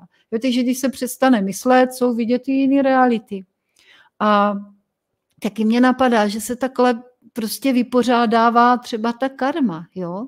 Jako tím, jak my nemyslím, vynořují se vzpomínky a energetické stavy vlastně události dávno minulých, a tak od lidí, od kterých cítím energetickou nevyrovnanost, jo, nebo, nebo využívání, tak se distancuju. Nechci s nima nic mět, jo. Kdo je na mě hnusný, má u mě smůlu, ale to není nic o tom, že bych si jako nějak jako o sobě myslela, jo, jako, že prostě si prostě ne, ne, jako, že si můžou jít jinam, jako, jo. Ale tam, jako kde bylo to využívání třeba, nebo zneužívání, tak prostě ty kontakty ruším. Mě to k ním jako nepouští, jo, nejde to.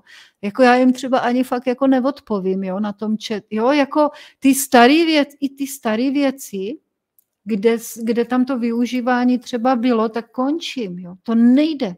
Jo, nemůžu s nima být, jo, pokud nedojde k nějakému energetickému vyrovnání. Jo, a zase tady máme ten termín, jo, jako energetické vyrovnání. To je jako divný, protože já se s nima prostě necítím fyzicky dobře. Jo, nemůžu s nima být a nejsem. A i když to jsou třeba starší věci, starší záležitosti, tak se to prostě vyrovnává teď. Jo. Musí být správná vyváženost mezi příjmem a výdejem energie ve vztahu s kýmkoliv. A to se stává závažnou věcí, jo, závažným problémem. Lidi na to začínají být velice citliví, jo, na to, když jako oni dávají a nevrací se jim to. A já taky, jo, Jo, dřív jsem na to nebyla tak citlivá, to mě taky říkal můj manžel, jo, že možná máme v sobě nějaký šestý smysl, který je na, to, na, na, to, na tu vyváženost příjmu a výdeje velice citlivý. A říká nám, jako, že my, jako když my někomu něco dlužíme, nebo někdo dluží něco nám, a to není jenom peníze, ale třeba i energie. Jo, a pokud dlouho vedeme nějaký nevyvážený vztah, třeba dlouho dáváme my, tak jsme nespokojení, naštvaní, ale taky začínáme jako, když neuděláme včas stop, tak začneme ztrácet ještě víc, jo? jak kdyby ten vesmír sám nás upozorňoval, jako nemůžete dávat pořád, jo? jak kdo neustále dává, nemyslí na příjem v nějakém vztahu a nepečuje o vyváženost, vlastně tak je jakoby v tom vztahu dokonce i zajatý nějak. Jo? Takže je potřeba, aby jsme i na to mysleli, na ten příjem a výdej. Jo, a od těch systémů, které nás vysávají, se prostě musíme oddělit, aby nás to dál, dál vlastně neničilo. A je to možná, je to to, čemu se říká oddělování těch realit. Jo? A, Tam je ten problém. Byste... No jenom, jenom malinka tej vsuvku. To souvisí s tím, co jsi říkala předtím. Hmm. Prostě, protože nemáme dostatek té energie. My jsme hmm. si dřív mohli dovolit dávat, jako víš, hmm. jako Přesně tak. Čeho, ale když hmm. tu energii nemáš, tak už začíná instinkt vlastně tě no. zachraňovat, no. že mm-hmm. prostě začne být člověk i hnusný, třeba kolikrát jako, jako tvrdý spíš, vůči no, no. parazitům, ale to je ten princip toho, proč mm-hmm. si říkala, že lidem hrabe a uh, startujou na první dobrou. No. Hned na mhm. poprvé prostě startujou hned, protože nemají dostatek energie životní. To je všechno stejný A je to prostě, protože to kolektivní vědomí tady v střední Evropě, bavme se o Česko, Slovensku, hmm. třeba Moravě, prostě máme to kolektivní vědomí prostě tak, tak v hajzlu energeticky, nevěříme v budoucnost, prostě jsou tady takovýhle energie, takovýhle prostě eh, témata, že skutečně, eh, když má člověk radost, tak generuje automaticky energii. Ale když hmm. dlouhodobě nemá jako z ničeho radost a masírují ho takovýhle věci, tak prostě halt tu energii nemá. No. To je jednoduchý. No. no, Prostě to je ten důvod. Prostě t- to není tak, že ty by si prostě nějak začala být zlá. Ne, ty si taky klesla na, na energii a proto si ji musíš začít bránit prostě hmm. jako to zvíře zahnaný do rohu. Jako. To je no. instinktivní jednání. No, jako to je možná vlastně příčina té války válek, jo, toho, že nám to jako ze zhora nějak jako krouhlí ty energie, takže my už prostě musíme být jenom fakt jako sami sebou. A teď se ukazuje, kým jsme, jo, jestli jsme vlastně jako, jedna věc jsou ty techniky, které nám jako klidně můžou být vzatý, protože je vlastně jako nefungujou, jo. Takže teďka už opravdu třeba záleží jenom na čistotě toho srdce jo, na tom, kým jsme skutečně, jo, jestli jsme, když to řeknu, dobří lidi, ale tím nemyslím hodní, ale opravdu jako kvalitní lidi, jo, takže válka válek, jo, válka všech proti všem. A když budete zkoumat svoji mysl a ty emocionální reakce, ale i to, co se děje kolem vás ve vztazích, tak zjistíte něco hodně zajímavého, jo. Oni se hádají úplně bez zjevné příčiny, protože a dělají si zlý věci, aniž by chtěli, jo, protože je to energie. Fakt jenom o té energii. Že tím, jak je energie málo, jo, a sice na těch bojištích válek a těch bojištích Matrixu se gen, generuje ta negativní energie, že jo, jako, jo, ty mrtví a, a, a zajatí a umučení, jo. Takže jako ty lidi se hádají a spouštějí se vlastně konflikty. A já se někdy divím, jak vlastně jako v těch vztazích, těch iracionálních konfliktech vůbec funguju já, jo, jak kterých vůbec nestojím. Jo, to se ani nedá popsat. Jo, jako dalo by se říct, jak máš, máš pravdu, že vlastně já jsem nekonfliktní člověk a jsem hodná, ale ty lidi mě prostě napadají jako z, úplně z, jako zbytečně, jo? že já jako fakt nic nedělám, jsem hodná a tak, jo. Ale jako bráním se zuřivě, Jo, to jsem taky nikdy nedělala. Jo, že bych byla taková jako až radikální, nekompromisní a úplně jako neúprosná tady v té obraně sebe sama. Jo, takže já se nestačím divit, co se taky může stát, jo? jak to ego jednoho bojuje e- proti egu druhého člověka, kdy logika a zdravý rozum fakt dostává pořádně zabrat, kdy vlastně jako člověk jako vůbec neví, jak se ten konflikt eh, vyvinul takže já to dělám tak, že to jako fakt sekám, že sama sebe nepoznávám a že jsem musela jít dokonce normálně jako, jako za manželem, který si den, jo, kdy už jako toho bylo fakt jako hodně, kdy jsem si říkala, kurně, kde se to furt bere? Proč pořád ty lidi na mě útočí? Tak jsem šla za ním a říkám, ty Radku, jako já jsem se nějak změnila, nebo co, jako, jako jsem byla dřív hodná, už nejsem, nebo co je? A on mě říkal, ne, ne, ne, jsi pořád hodná, pořád laskavá, pořád vlídná, pořád je to sebou, s tebou super, jo, jsem s tebou rád. Jo. Ale jsi naprosto, uh, jak on to říkal, teď, jsem, teď mě to úplně vypadlo, ale že jsou radikální, jo, nekompromisní, uh, nesmlouvavá, a nenecháš si nic líbit, mě říkal. Jo? Ty si nenecháš nic líbit. Já říkám, a to jsem si dřív jako nechala jako líbit. No ne, že pre jako, že to ani tak ne, že bych si nechala líbit, ale že jsem jakoby daleko víc jakoby dávala. Jo, nebo byl, byl tam ten měkčí polštář, jako, nebo ne, ne, jo, nevím, jak to, jo, jako byla jsem daleko víc, tolerantnější a tak, ale teďka už asi jako si prej, že nenechám nic slíbit. Takže, a to mě teda potěšilo. No, protože jsem si vždycky myslela, že jsou hrozně měkká. Jo, ale tak jako nenechám si nic slíbit, no, takže tak. Takže bacha, bacha na mě. Ale jako doporučuju to všem, protože je to fakt příjemný, když opravdu dokážete nastavit hranici, zabojujete za sebe, jdete i do konfliktu a klidně někomu vynadáte a pošlete ho do těch míst, jako, který bych tady nechtěla říct, aby Chavě neohrozila kanál, jo, ale jako opravdu je to asi nutný.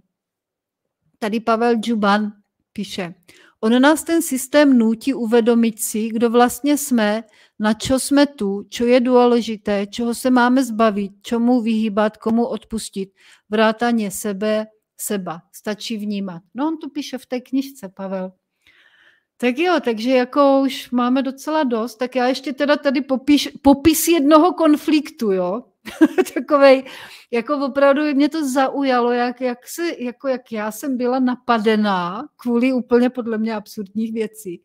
Ale vůbec mě to nevadí teda, jo. Jako já jsem jako bojovala klidně o, o, o, ten svůj prostor, o ten svůj názor, nebo ani o, to, o ten názor ne, ale o to, kým, kým jsem, jo, že za sebe prostě, jo, a hodně, hodně razantně, hodně intenzivně. Napřed bych přečetla dopis, který, protože mě jako lidi hodně vyčítají teď to téma živého člověka a to téma OPPT, že vlastně jako se tím zabývám, že o tom mluvím a že říkám, že se, o to, že se tím zabývám a že dokonce jsem pořádala i přednášky u nás s NRM, tak jako jsem se jako dočkala, že tak jako reakcí, že vedu lidi do pekla. Aniž by ty lidi vůbec vyslechli, co já říkám. A to je ono, jo, ty lidi vás neposlouchají. Neposlouchají ušima, nekoukají očima, nemyslí hlavou. Já nevím, jako čím to teda dělají, ale zjišťuju, že mnoho nedorozumění je, že ty lidi nemají vůbec pozornost, že vás prostě neposlouchají, že vás nevnímají, že nevidějí, nesledujou, jenom si vezmou třeba nějakou větu nebo slovo nebo cokoliv, aby mohli startovat, aby na vás si mohli vzít tu energii. Takže taky doporučuji celestinské proroctví, tam ten popis toho, jak to probíhá, je úplně dokonalý. Takže napíšu, eh, teda přečtu dopis, jeden, který mě přišel. To souvisí s tím konfliktem, jo, od teďka teda jako budu o tom se bavit. Ahoj Helenko, psát, že jsi nesmírně inspirativní a máš vždycky co říct a máš velký přesah, i když to něko, někdy vypadá jako prout informací bez jasného záměru, tak je v tom vždycky něco, co se dotkne spoustu lidí. Máš v sobě prostě cosi transformačního, co otevírá naše vědomí, máš silné napojení na ducha, takže musím uznat, že spojení super. Signál funguje, si prostě boží Wi-Fi. A i když si měla mraky vysílání a témat, tak musím konstatovat, že vždycky to bylo neskutečně jiné a pokaždé v tom byly nové střípky informací a hlubokých témat. Prostě co vysílání, to originál, tak jako ty. Ale konec oslavných řečí na tvou osobu. Chtěla jsem ti říct, že poslední dobou se často dotýkáš tématu živý člověk a já nad tím stále více hloubám a přišla mi taková zajímavá souvislost. Často se řeší, kdo projde touto náročnou dobou, kdo budou ti vyvolení, kteří dokážou projít tímto peklem apokalypsy, nebo uchem jehly. Nejdříve se řešilo, jestli to budou tečkovaní nebo bez teček. Aktuálně to vypadá, že to budou ti s bílo, červeno-modrou vlajkou, nebo snad žluto-modří, nebo to budou vegani, nebo raději rovnou pránisté nebo vyvolení budou jenom příslušníci některých inkarnovaných mimozemských ras, ideálně členové galaktické párty. Ale konec legrácek. Čím víc tě poslouchám, tak mám pocit, že by to mohl být ten živý člověk, o kterém tak často mluvíš. Živý člověk je něco, co mi dává smysl. A nějak tak šestým smyslem přesně vím, nebo spíš cítím, že to je možná cesta a klíč k dalšímu bytí či nebytí.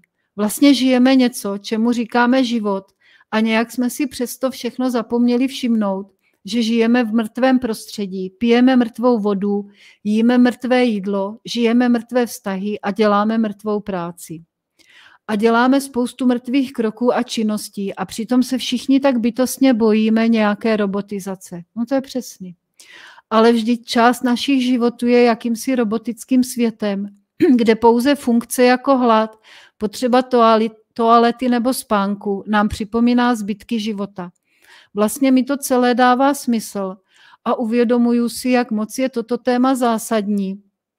I když v tuto chvíli zatím není pochopené, nebo možná spíše uchopené. Já ale cítím, že po narcismu je téma živý člověk další trefa do černého. Také jsem si toto téma vložila do kontextu svého života a našla jsem spoustu souvislostí a také pochopila, že jsem na správné cestě k živému člověku. A vlastně sama za sebe říkám, že vlastně celý svůj život žijí v duchu hesla fuck you systém. A tak nějak si od dětství dělám, co chci. Matrix ignoruju, kde to jen jde. Pochopitelně v mezích zákona. Není to o nějakém rebelství, spíš je to o vnitřní přirozenosti a uvědomění si své svobody, o bytosti ve mně, která nikdy nezapomněla, kým skutečně je. Někdo by to nazval vnitřním indiánem, nebo nevím čím, ale je to úplně jedno, jakou tomu dá člověk nálepku. Důležité, že to je živý a má to svoji vlastní inteligenci, díky Bohu. Takže ti chci říct, že se těším na další práci s touto myšlenkou a s tímto tématem, co zajímavého duch pošle skrze tvá ústa a tvé vědomí. Mluvíš řeči mého kmene a tímto děkuju, že jsi součástí mé virtuální rodiny. S láskou a velikou úctou k tobě a k duchu, který mluví skrze tvá ústa. Takže ona tady potom ještě teda říkala, nebo napsala, že bychom možná mohli udělat takovou školičku, nějakou školu ale aleluja, že ona pochopila tady ta mm, čtenářka a posluchačka a divačka, která hodně píše teda Avo k tobě na kanál. No a že pochopila, o čem já mluvím, protože lidi jako nechápou, o čem mluvím. Oni si myslí, že je to o tom, že já mluvím o těch dokumentech o PPT, ale já o nich mluvím taky, protože jsou taky v tom kontextu důležitý, aby jsme si něco uvědomili. Ale my jsme si totiž jako udělali takovou školu s Nerem ve Španělsku. Jo? Začali jsme dělat tu školu. A domluvilo, domluvilo se to, když byl právě tady v republice a udělal tady sérii přednášek a seminářů. A domluvili jsme se i s pár lidma, že by se dalo něco udělat ve Španělsku. Jo? Pro ty lidi, kteří chtějí.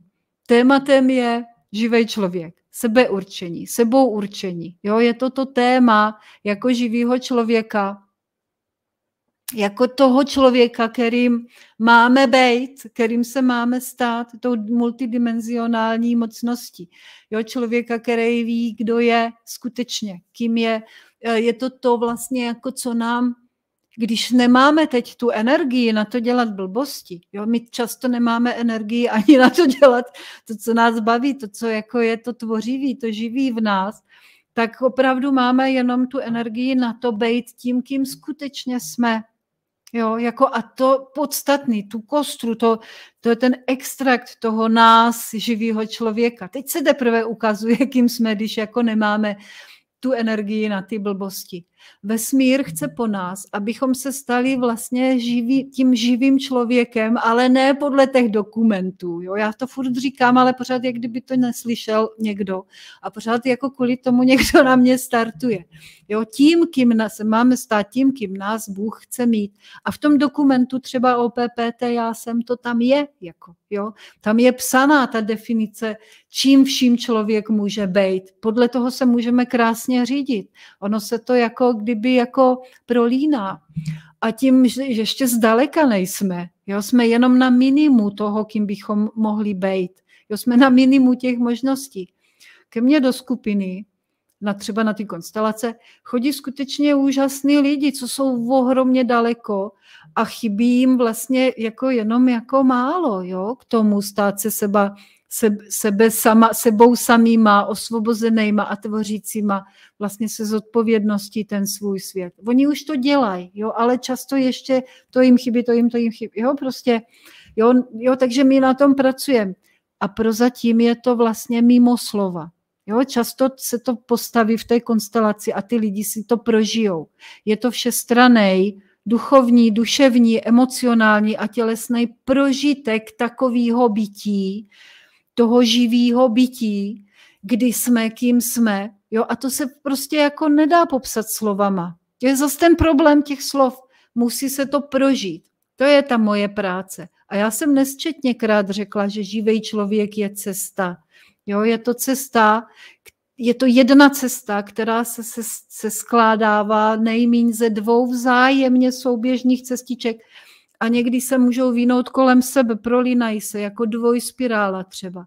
A jedna cesta je to vyplňování a pochopení toho procesu těch dokumentů, na kterou vlastně se soustředí valná část té populace kolem toho tématu, jo, a se vinou tam diskuze a informace, jo, na různých skupinách, teď se taky hádají a tak dál. A ta moje část vlastně, jo, ta moje, čím, co mě zajímá, jo, je ta část ta prožitková za těma slovama, jo, kdy tu vlastně svou živou lidskou identitu je možný prožít, ale nesnadno se to vyjadřuje slovama, jo, to je těžký. Sama jsem si to spoustakrát vlastně prožila, sama na vlastní kůži, měla jsem neuvěřitelný stavy, prozření, jo, energetický stavy, kdy jsem měla pocit, že hořím, jo, že obsahuju celý vesmír, že jsem sama tím Bohem, že v každé mé buňce je celý vesmír a že je tam počátek i konec a všechno. Jo, a ta nekonečná energie tvoření a ty vrstvy těch realit, ale to vlastně jako nejde popsat jednoduše. Jo? A, a taky to nejde udržet v této realitě na dlouho, ten stav toho, toho bytí, jo, kdy vlastně, jo, my jsme, jako kdy jako vy jste máte pocit toho, osvícení, kázání nahoře, když tam ten Ježíš prostě káže, jo, jako vy jste uvítržení, teď najednou máte pocit, že všechno víte, napojíte se na to jeho informační pole a jste jako taky osvícení, jste tam spolu s ním a pak jdete domů a teď tam musíte ten nákup a umývat nádoby, jo, a tak dále. Jo, takže to jakoby neudržíte, jo, na, natrvalo, jo, ale můžete to pořád zkoušet. Jo, takže v té, té realitě to nejde udržet na dlouho, kdy člověk chápe všechno ale zase ví, jak těžký je to popsat. A to Pavel Džuban určitě ví, jo, že by to musel být román jak Odysseus, jo, ani by to nestačilo. Jo, a sama vlastně sama vlastně nad tím žasnu a potřebuju taky ten nějaký čas na, na, na zpracování. Jo, opravdu jen toto, nic víc, čas pro sebe. A když zhodnocuju tu situaci, že se vlastně o tom nedá pořádně mluvit, cítím tu bídu člověka uzavřeného v té své mysli a v tom, že nejen, že nelze všechno říct, ale když to řeknete, lidi slyší s bídou ten zlomeček jenom, jo, ještě se naštvou. Já opakuju pořád a pořád dokola a nakonec vlastně jako fakt mě řeknou, že vedu lidi do pekla, jako kvůli OPPT a neslyší už to ostatní, jo. No a já se zajímám samozřejmě o ty dokumenty, zejména o ten dokument já jsem, ale fakt nevypisuju zatím ty papíry, protože to neumím, ale zhromažďuji informace a jsou ve spojení s tím nérem, s tím, s tím kamarádem prostě, s kterým jsme si udělali ten program v tom Španělsku. Prostě pár kámošů jede do Španělska, kde si v naprosto jiných energiích, než jsou tady, v energiích, který to vlastně tady je to, je to znemožněný, ani ten čas tady na to není. Takže si to nedovolí ten prožitek. Jo? Kdežto, když člověk vypadne k oceánu, jsou tam úplně jiné energie. Teď Nereus má nachystaný, jo, jsme si, jak říkám, mluvím o školičce, o škole. Ten má nachystaný kompletní astrologický program, přednášky, jo, astrologický témata spojený s, vla, s vlastní hlubší identitou. Jak se k tomu dobrat, k tomu, eh, kým jsme, jo, jak to najít v tom horoskopu. Jo, já to taky dělám s lidma. A jak je to s tím sebeurčením? Jo? On bude mluvit o OPPT dokumentech, protože o tom hodně ví. On je vlastně autor webu, člen redakce Geopolitics Astrology, je tam spoustu článků na to téma, jsou tam všechny dokumenty, které jako zatím jsou přeloženy. Obrovská mega práce, jo, obrovská spousta práce je zatím. Jo, on je nesmírně vzdělaný, informovaný, příjemný, charismatický společník, který má mnoho cených zkušeností. Hodně toho ví, jo, je celkově docela dost zajímavý člověk a žije dlouhodobě v zahraničí a zná skvěle to místo. A já jsem tam byla vlastně před těma dvouma letama a prožila jsem vlastní svýho druhu transformaci díky tomuto alchymistovi v tričku taky, jo, nebo v košili, jo, že hodně jsem se tam jako i ten pobyt a tak jsem se tam hodně promluv, proměnila. Jo, to jako byla alchymie jako prase. Jo, jako mluvila jsem o tom taky ve vysílání, i tady, i u Járy, právě před tím rokem a půl, když jsem se vrátila, jako co jsem tam prožila, jo, jako jsem vůbec, jako, to bylo pro mě nepředstavitelné. Možná to byl intenzivnější, prož, intenzivnější prožitek než v tom Peru, kde to bylo sice taky intenzivní, ale jinak. Jo. Tam to bylo jiný, úplně jiný. A Nereus je taky jako takový alchymista, jako v tričku, který dokáže vystavit člověka situacím, který opravdu ho promění. A my jsme jakoby dvojka jako pár, který má společný program. Jo, on má trošku něco jiného, já mám trošku něco jiného. On má i tu intelektuální vlastně složku, já mám tu svou prožitkovou. Jo, on má to OPPT, ty dokumenty astrologii a tak. Já mám konstelační práce zaměřený na téma sebeurčení, na tu energii, nalezení toho vlastního duchovního rozměru, co, co je za slovama, co je v tom prožitku. Jo, budeme se dostávat daleko za slova. Já jsem se zúčastnila třeba spoustu ve výcvikách mraky výcviků, mraky sdílení a vím, jak těžký je mluvit o tom, co člověk prožil, ale jak snadný je to udělat a prožít, pokud se dostaneme mimo slova a jsme dobře vedení jo, jakoby tím prožitkem. To dělám já, jo, blok těch technik a praktik zaměřených právě na proces uvědomování si sebe, toho svého poslání a určení, jo, uvědomování si prožití v těle toho, té širší reality, jak v sobě, tak i vně a jsou to především teda, co dělám, rodinný konstelace, biodynamická práce, energetické cvičení. Si představte, že jsou cvičení bioenergetické, kdy si jako vy můžete vyléčit sami traumata, jo, odléčit si je prostě, jo. Terapeutická práce orientovaná na tělo, jo, se tím zabývá a jiný jako překvapivý metody uvědomování. Takže součástí jsou různé třeba techniky šamanských hledání vize. Takže my jsme si udělali takovou školičku, jo, kdy ty prožitkové bloky, bloky by měly být harmonicky doplňované nebo doplňovat se navzájem, prolínat se. Jo? Jako každý má jinou tu cestičku k tomu živému člověku, takže ty nereové informační bloky budou se prolínat s těma jakoby prožitkovejma, relaxačníma a ještě je tam ta ta, ta část toho, té relaxace u toho oceánu jo, a, a ta energie. Jo, takže je potřeba, pokud bude člověk chtít být skutečně svobodným a sebeurčeným, aby si uvědomoval, nebo chceli si uvědomovat tu svoju jako identitu, toho sebevědomí a to živý lidství v těle, jo, že ho vlastně ho to musí vyzařovat z každé té buňky toho těla, z každého pohybu, z každého gesta, jo, i navenek, aby to nebylo jenom mentální konstrukt nebo napsaný na dokumentu jako na papíře, jo, živý člověk a já jsem, jo, to je musíme prožít, to má z nás musí vyzařovat, jo, jinak to nemá absolutně žádnou váhu a můžete podepsat dokumentu, kolik chcete, Jo, jako to mě právě jako furt někdo vyčítá, já to furt říkám a furt to opakuju dokola, že to je takhle, jo, že to mám takhle. Jo, takže jako ty mentální konstrukty a ty slova prostě od, odvané, každá následující zajímavá myšlenka nebo počin parazita. Jo, je potřeba, aby se to skutečný živý lidství propsalo od zhora, od toho božského záměru až na tu tělesnou úroveň. Stalo se to živoucí realitou, jo, protože to tělo je metaforou našeho uceleného self, jak píše Andrew Samuels a to mě teda se moc líbí, jo, že to tělo jako je vlastně metaforou toho našeho já. To, jaký máme tělo, tak jako často, nebo i pokud jsme zdraví, že jo, fyzicky a tak dále, jo, jak vyzařujeme, tak je to vlastně jako metafora toho našeho self, to se mně strašně líbí, jo. to jako je moje práce.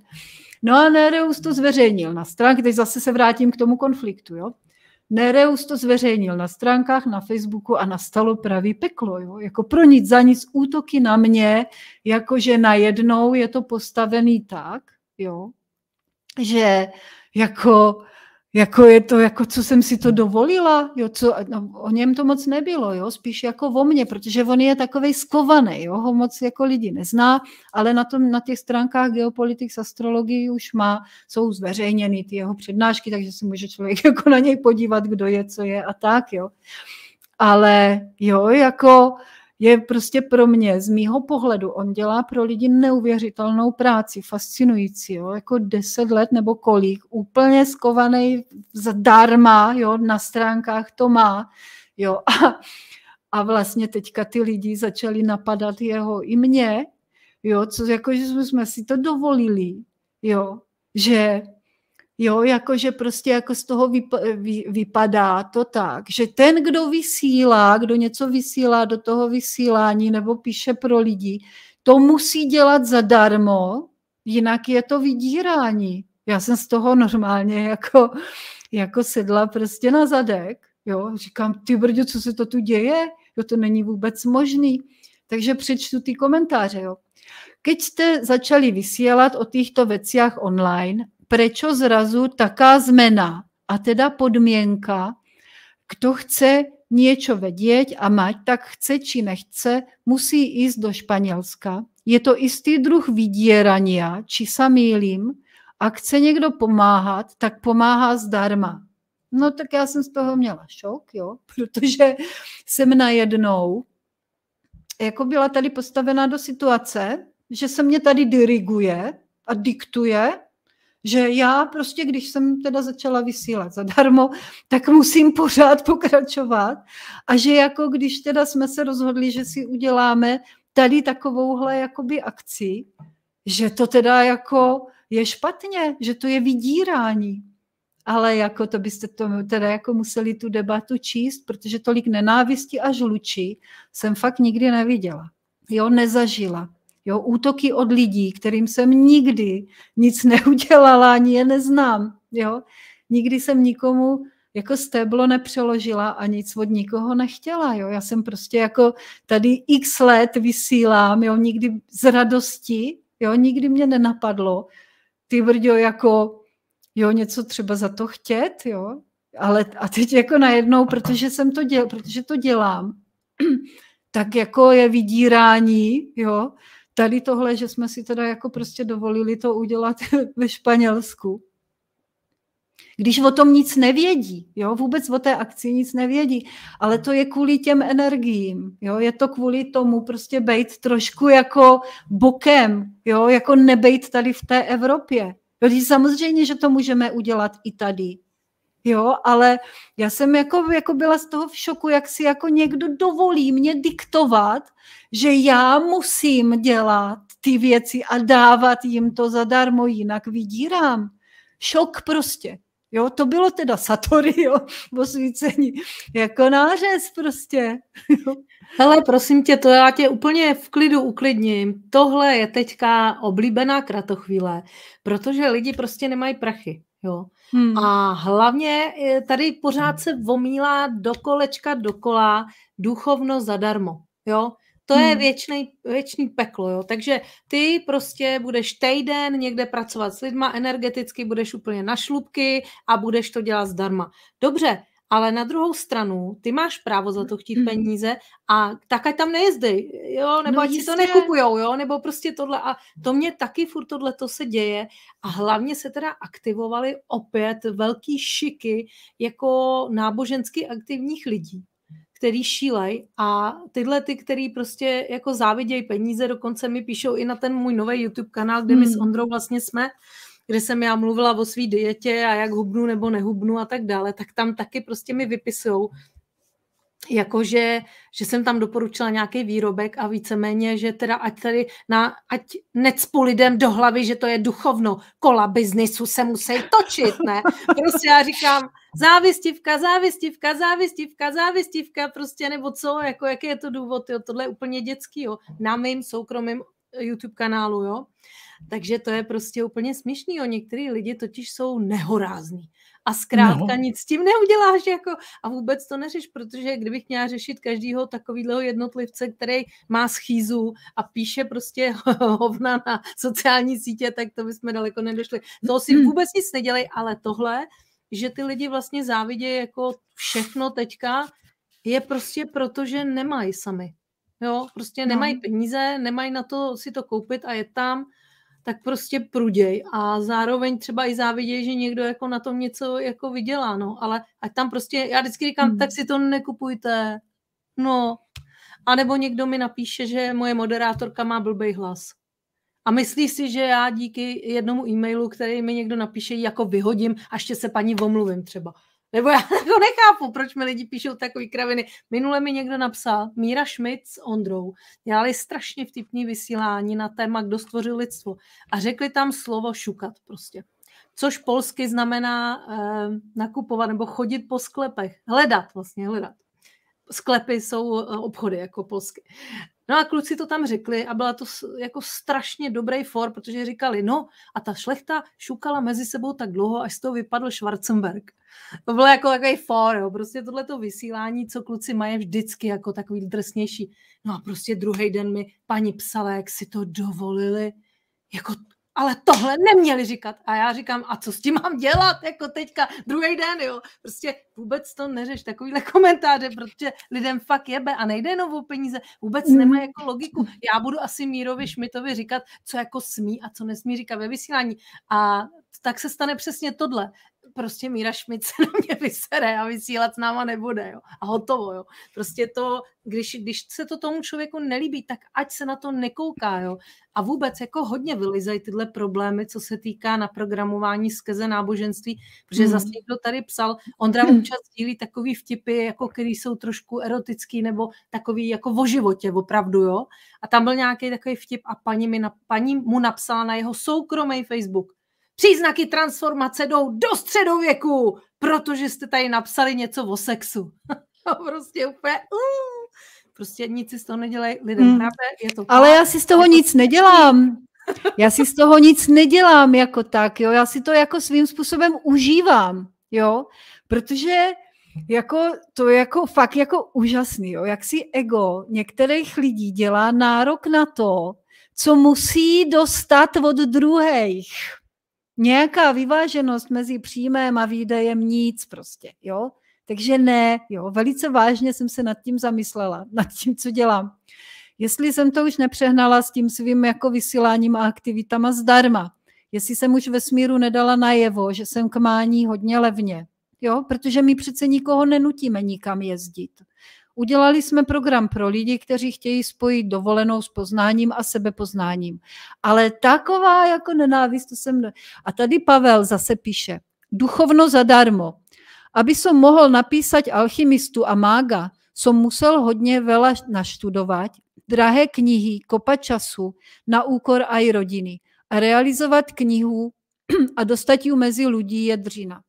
No přesně tak, protože abych já tady mohla vysílat, tak jsem měla, jakoby, jsem vyhodila sta tisíce za výcviky, za vzdělání, bla, bla, bla, bla, za čtení, času, jo, jako za ty peníze, jo, nebo za, kdybych si měla vydělat peníze, jo, jenom za ten čas, co jsem provysílala, chystala vysílání, jo, tak to bych měla teda docela jako ně, několik drahých dovolených, jo, ale ne, já jak debil tady prostě jako furt sedím, nějaký vysílání chystám a říkám to do, jako do, do éteru, jo.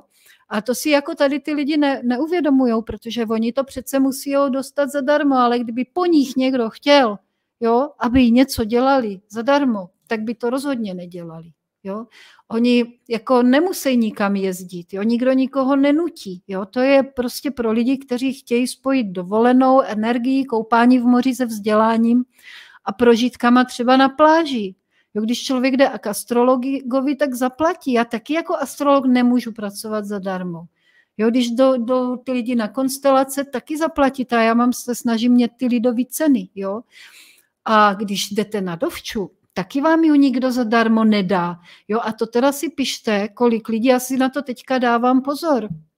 Jo, tak eh, ten jel, byl v Egyptě, ten jede do Egypta, jedna klientka jede do Dubaje, jo, tam zase jako Borka do Řecka, brácha se chystá na Bali, jo, prostě furt někdo někam jezdí, jo, jako je to úplně normální. Jedna paní zase na Jamajku, úplně normální, jo, a najednou je s tím obrovský problém, jo, takže jako mně se to jako kdyby na jednu stranu líbí, jo, to, že vysílám já zadarmo, je moje volba. Nikdo mě k tomu nemůže nutit.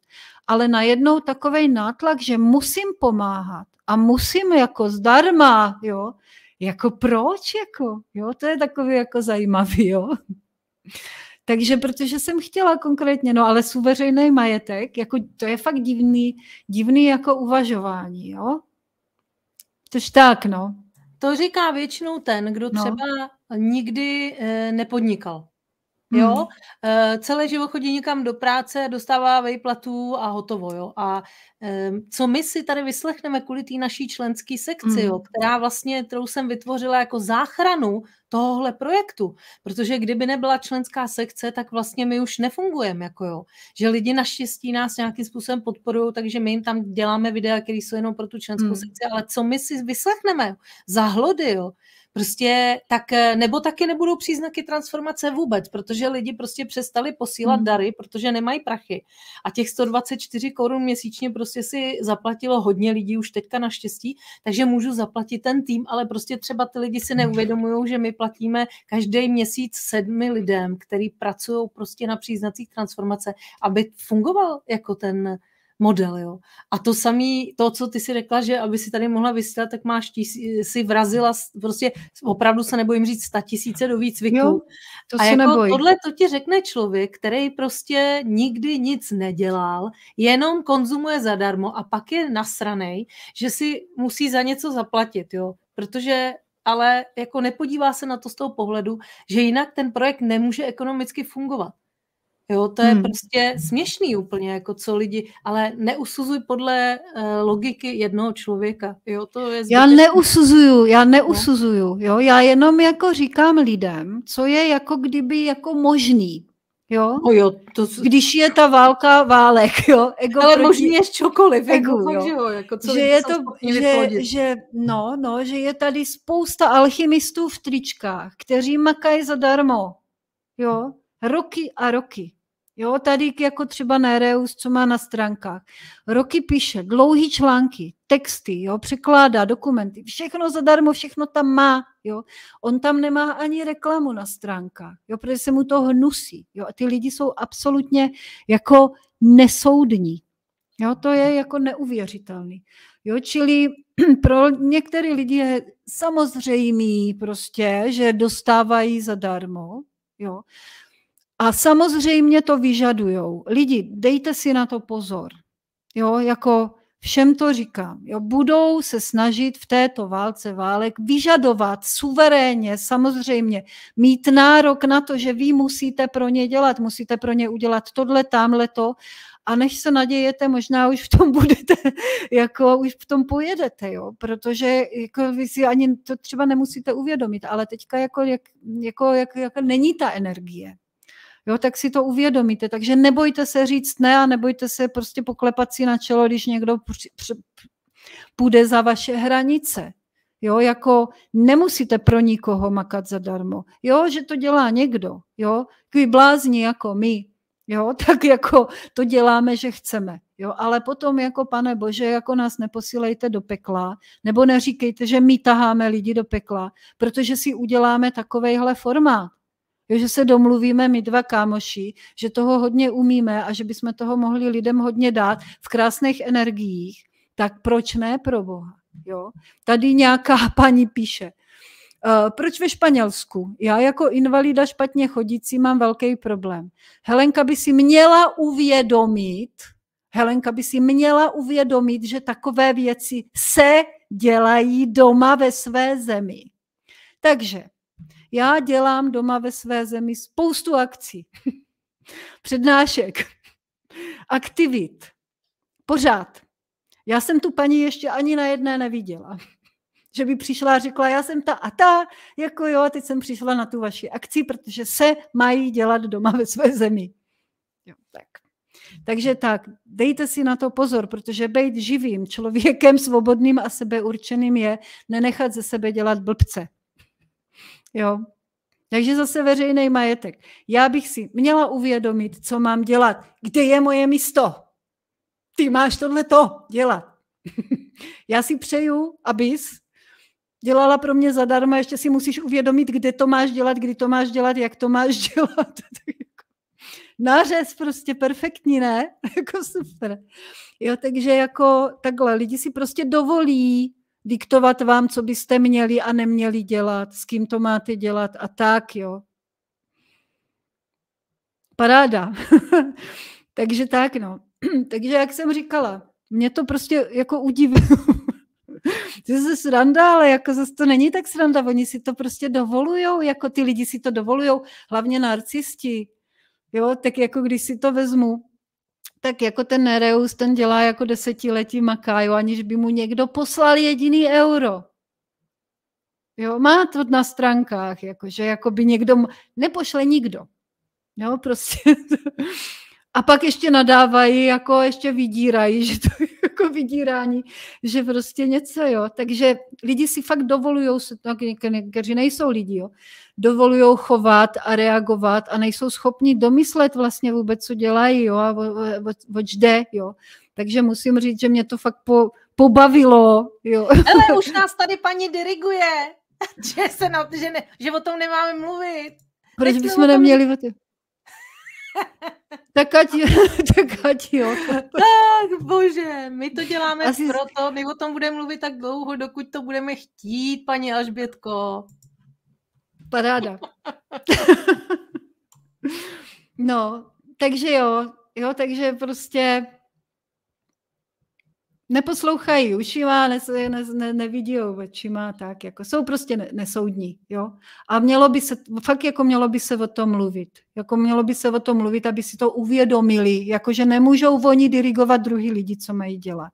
Jo, takže jako mě to prostě udivilo, jo, i vzhledem k tomu, kolik toho dělám já pro transformaci a proto, aby si lidi uvědomili, že by se měli stát tím, kým se měli stát podle božích záměrů, nemají říkat druhým, co mají dělat, Jo, a uvědomit si, že to jsou hodiny, týdny a roky nezištné práce.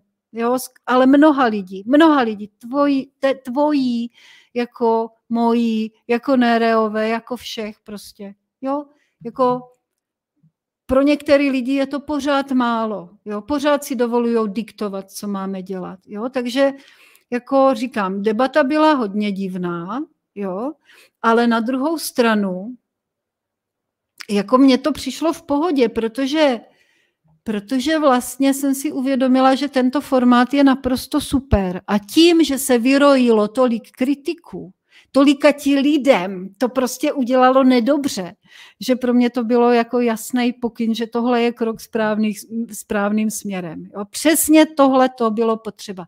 Dobrý formát, inspirace ze zhora, možná trošičku brzo, samozřejmě, že se to dá dělat i v Česku, ale Nereus je ve Španělsku a energie Atlantiku, magie místa, kombinace toho, co chceme sdělit a předat. To je přesně ta správná alchymie, které jsme chtěli docílit. A já bych moc chtěla, jako aspoň zlomek toho, co jsem tam třeba zažila já, a něco svýho k tomu přidat. Takže kdo chce s náma do Španěl a ještě pár dní, vlastně jako je chvílka čas, než se to uzavře. Takže, takže jako ještě pořád teda srdečně zvu, protože možná i my jsme takový alchymisti v tričkách. No a koho zajímá, kdo je zvědavý, co na to Radek, co na to můj muž, tady na to protože i to mě někdo jako naznačoval, že to není v pořádku, že já tak jako spolupracuju s nějakýma chlapama, ještě říkám, že jsou s nima ráda, jo. Takže jako vážení, ten je s tím v pohodě.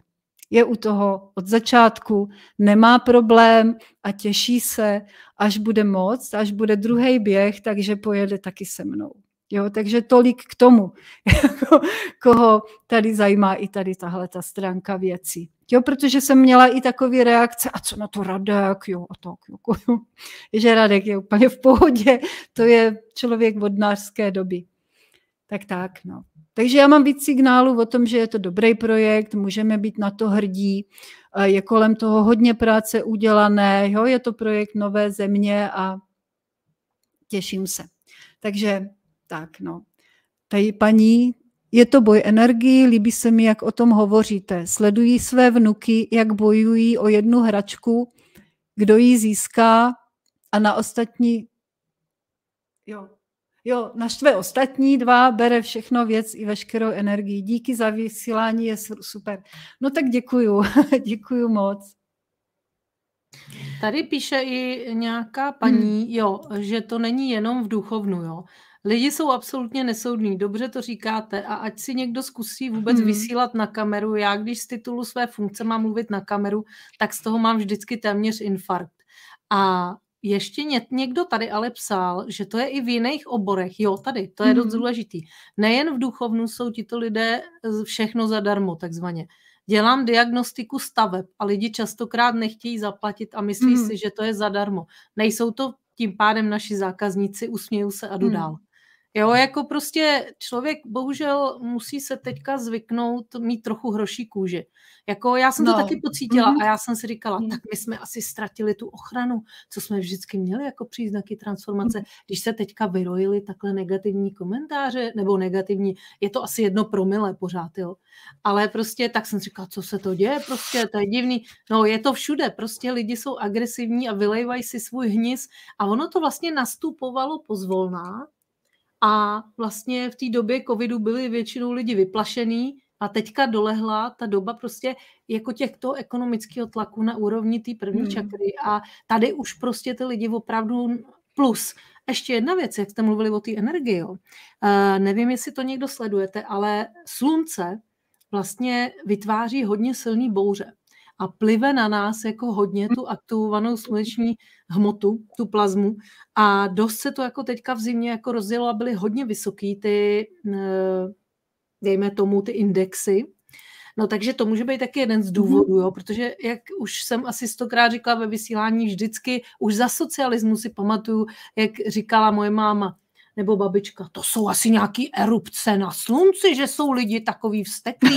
Třeba když se v pátek jelo na chatu autem, že jo, a na dálnici byli lidi jak blázni, to jsou asi erupce na slunci. No a je to tak prostě, jo, že když jsou erupce na slunci, tak do nějakých 24 hodin to sem přiletí od toho slunce, ono to letí docela rychle, někdy trošku díl a podle toho, když si pšoučkne zrovna to slunce mm-hmm. směrem k nám, protože někdy je to na druhé straně slunce a to letí jinam, jo. Ale když je to zrovna na nás natočený hmm. a přijde to sem, tak opravdu jako my jsme vsteklí, lidi mají infarkty, nedej bože, když je k tomu vedro ještě, hmm. když prostě jako to takto kosí, jo, ten normálně i zubatá kosí, jo. Prostě tohle se tady děje na té planetě, nedávno byly dokonce polární záře vidět i tady ve středních Čechách, jo.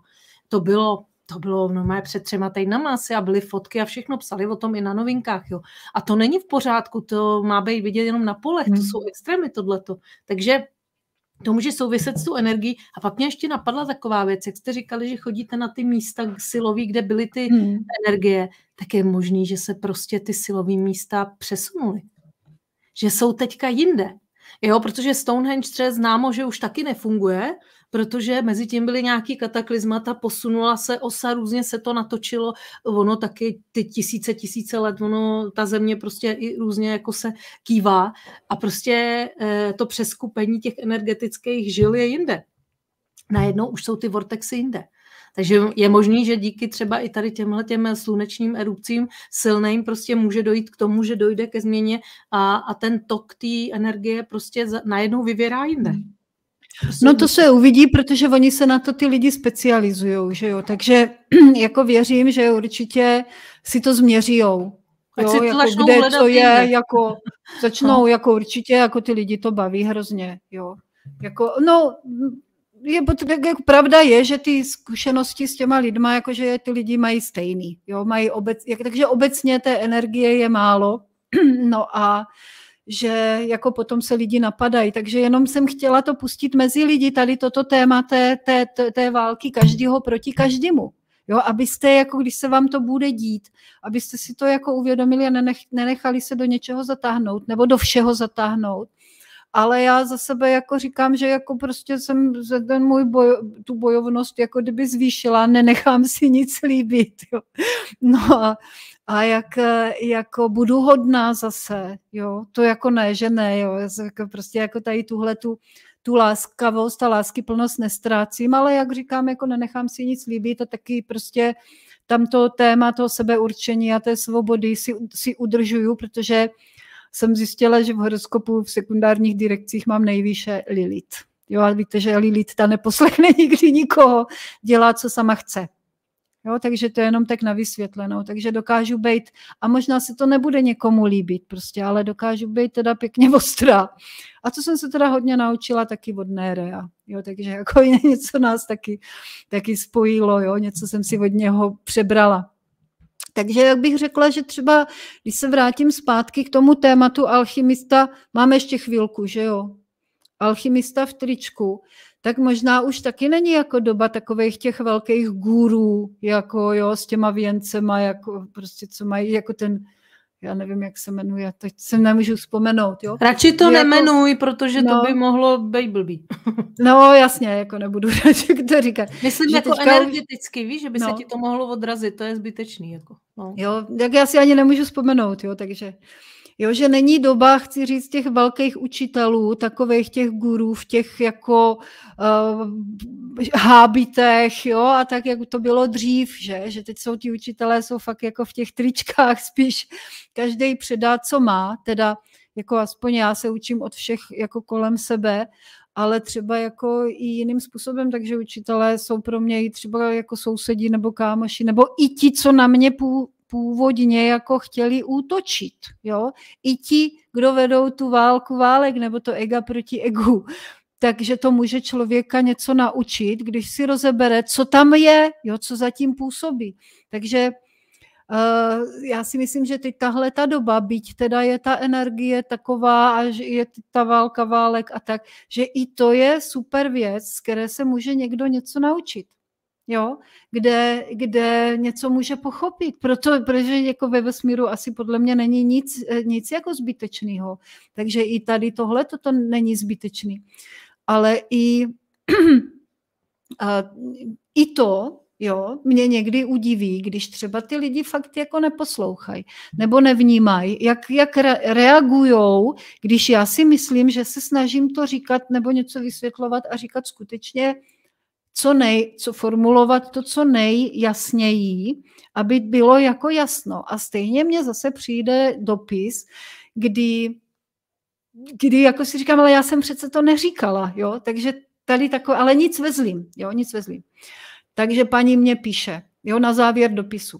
Jinak musím říct si, že díky za inspiraci. Viděla jsem začátek jednoho z vašich povídání na vašem kanále, kde jste říkala, že jste přerušila spolupráci se školou v Peru. Napřed mě to šokovalo, protože to vypadalo, že jste na ní hodně navázaná a budete spolupracovat dlouho. Ale na druhé straně mi to pomohlo v tom, že se řídíte tím, jak to život nese a když přijde konec, tak konec. Jede se zase jiným směrem, něco to přineslo a jede se dál. To je pro mě nesmírně cenná inspirace. Protože tím, jak jsem naučená, že musím věci dotáhnout až do konce, že není správné měnit názory, se většinou nutím do věcí, které už pro mě nemají význam a třeba mi už ubližují. Takže díky za uvědomění, že je klidně možné říct ne a nechat se unášet jiným směrem a je to v pořádku. Takže tady z tohohle je vidět, že každý vlastně vidí to, co chce a každý slyší přesně to, co on chce slyšet, jo? Nebo, nebo co potřebuje slyšet. Jo? Takže je to jako zajímavý, protože já jsem to neříkala, jo? tedy toto. Ale paní slyšela to, co potřebovala slyšet. Já nejdu jiným směrem. Jo, vůbec ne. Jo. Já bych tam byla zůstala, ale duch řekl, že prostě budu propuštěná, aniž bych tušila tehdy proč, a že se jde dál, ale ne jinam, jo, ne jinam, jo, ale hlouběji. Ne jiným směrem, ale do větší hloubky. A jednotlivý cvičení, který jsem dostala, propracovávám do hloubky a výšky, do více dimenzí. Jo. Ta nauka je v pořádku, tam změna není. Jo. jo, takže to dělám pořád, jo, ale jde hlavně o ten účel. Jako představte si to tak, že vás duch vyšle do nějaké jiné země, pro vodu třeba, jo? Nebo Her- Herakles šel do země Hesperidek pro jablka, jo? Uh, ten šel plaváček k dědovi vševědovi pro, pro tři zlatý vlasy, prostě každou chvilku někde v nějaké pohádce, někdo nebo bájí, někdo někam jde pro něco, jo? nebo ve jedné pohádce šla hrdinka do dračí zahrady pro živou vodu, jo? nebo pro vodu léčivou. Takže furt někdo někam, jo, pro, pro ptáka vohníváka, jo, jako prostě to, to je úplně normálně, že někdo někam jako jde pro něco. Takže je vyslaný, jo, takže duch vás vyšle do nějaké jiné země pro vodu, protože nikde jinde není než tam. Nikde jinde to nebylo. Jo.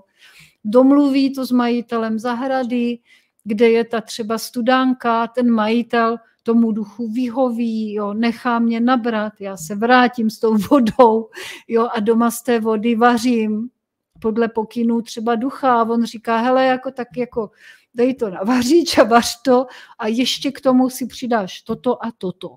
Jo? S učitelem to domluví, jo, ten mě v pohodě propustí bez problému, jo, nic tam není, žádný problém a taky není vyloučena nějaká další spolupráce. Jo? Jenom, že ten pokrm z té vody, jo, která, pro kterou jsem byla vyslaná, kterou jsem přinesla, je třeba jenom tady zrovna zase, jo, jako dostupný. Prostě duch si to tak usmyslel, tak to tak je. Takže neunáší mě to jinam, jo, ale naopak stavím na tom dál pořád. Jo? Prostě duch to tak chce, takže pořád jako, jako jedu, ale potřebuju teďka mít víc času, jo, na sebe. Jo, na sebe, abych víc pracovala. No a třeba jako je tady jeden člověk u nás, který mu řekl duch, že má odjet do Afriky, tak se sebrala odjel. Vůbec neví, co tam a nevěděl, co tam má dělat. A řekl, no, že já tam vystoupím prostě na letišti, tak budu vědět. Jako přijde za mnou někdo, řekne mi, co mám, mám dělat. Takže podle toho vidím, jak je hrozně těžký něco sdělovat teďka v té době. Jo, pořád člověk mluví a říká to samý furt dokola, neuhne ani v okrok, řeší pořád to svoje, ale lidi slyší to, co sami chtějí, nebo potřebují, nebo to, co žijí. Takže takhle se dívám i na ty konflikty s druhýma lidma, na ty výpady ega. Jo, já na nikoho třeba neútočím, jo, ale jako vám říkám, že se tohle prostě děje. Jo, já neútočím, útočí se na mě, ale já si chráním svou hranici. Jo, a že to tak jako prostě je, až na vás bude někdo útočit a bude se to množit, tak vlastně, jak slýchám od přátel a klientů, tak si řekněte prostě válka, válek, ego proti egu, klídek, parazit chce udržet starý svět, podle toho se taky zaříďte. Jo, a možná, že vám to pomůže, že když třeba proti vám bude někdo stát, třeba nějaký šéf nebo kolega, nebo tak, jo, tak si řekněte, aha, už je to tady zase, jo, a pomůže vám to se tím, jako kdyby se přesto přenést. Jo, nemusíte se hádat do krve, není to o vás taky třeba kolikrát, není to taky vůbec vaše vina, takže pokud chcete, bojujte, ale jenom po určitý hranice. Nebourejte se do světa druhých, ale jenom braňte svoje hranice. A až vás někdo vytočí tím, že po milionté nechápe, co mu říkáte, neslyší na uši, nevidí na oči, nemyslí něčím, nebo myslí něčím jiným, nebo co. Není to vaše vina. Jo, vy to o tom teďka jenom víte. Hm. Takže to jsem chtěla hlavně říct. Jo, už se mám přihlásit? Nebo? No, jako Pomalu no, já... jsme u konce toho, co si chtěla No, říct. jsme u konce, protože já už potom tady mám ten úsek, že jsem chtěla jako z té knižky něco říct a přečíst. A vlastně bych mohla, jo, ještě bych mohla do konce. Ještě chvíličku máme, jestli teda můžu. Jo, já jenom nechci moc přetahovat. Jo, právě Určitě tak... něco na závěr přečti z té knížky a tě radost, no, protože no. pán tady už psal, že druhý díl už je eh, také dokončený a že půjde hmm. také do realizace. Já až teda třeba jakoby zjistím, kde se přesunulo to moje místo síly, tak bych udělala jenom o tom vysílání, třeba se domluvím s tím Pavlem, že bychom vysíla, zavis, jakoby udělali si vysílání spolu, jako, nebo já nevysílám, já to musím napřed natočit a pak to teprve dám na YouTube, jo, protože u mě není pořád, není signál, zkoušela jsem to a není. No a tady Pavel tady má taky jako napsaný hrozně pěkný věci, jo, že třeba tady v tomto světě je potřeba nejvíc láska a moudrost. Jo, že nejvíc potřebujeme láska, lásku a moudrost a to nám co ne, čím dál tím víc chybí a to jako lidstvu i nám lidem. Já bych chtěla říct k tomu jednu věc. Já totiž jako s Pavlem souhlasím i nesouhlasím. A, a jsme to dokonce probírali uh, včera ve skupině, že ano, určitě je to pravda, ale na druhou stranu uh, té lásky a té moudrosti je moc. Jo, je jí hrozně moc. Jo, je mnoho lidí, mnoho těch alchymistů v tričkách, kdo nese lásku a moudrost. Ale často to není na druhé straně přijatý. Jo, že je třeba mnoho lidí, nebo je problém je v tom to přijmout. Jo, často taky jako někdo nosí, nese lásku a moudrost a je to zneužitý. Jo, to je mm, jedna, to je druhá stránka věci.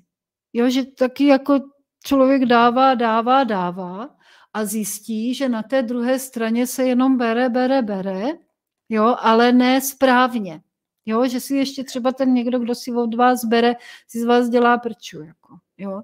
Takže i proto, no a nebo potom, jako když to dopadne, jak v té, tady, jako v té, tady v tom, že vás obviní, když teda si řeknete, no aha, takže jako já jsem to dodávala moc, tak já si udělám čas pro sebe, nebo to udělám jinak, takže vás vydírají, že musíte dávat pořád, jo. Takže jo, je tam jako kdyby i, jako problém přijímat tu lásku a moudrost. Protože když je toho zase moc, tak eh, je inflace, že jo, a pak jako třeba ty lidi to ani nepřijmou nebo nemůžou, jo, a nebo to přijmou a jak se říká, že te perly sviním, jo, takže vlastně to obrátějí proti vám, jo, takže i tady tohle toto je problém. Takže lásky a moudrosti je hodně, zároveň chybí, jo, zároveň to třeba ne, nedovedou ty lidi přijmout.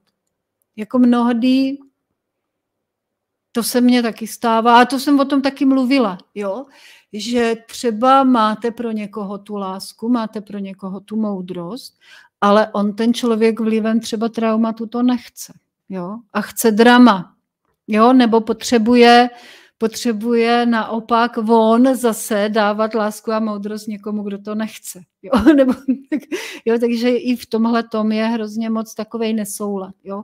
Možná, že nepotřebujeme uh, víc lásky a víc moudrostí, ale potřebujeme vyléčit traumata. Potřebujeme distribuci, potřebujeme rovnováhu. No a jako často k tomu dochází tak, že se dějou věci takové, kterým třeba často přidáváme znamínko mínus, protože si myslíme, že to je úkorný.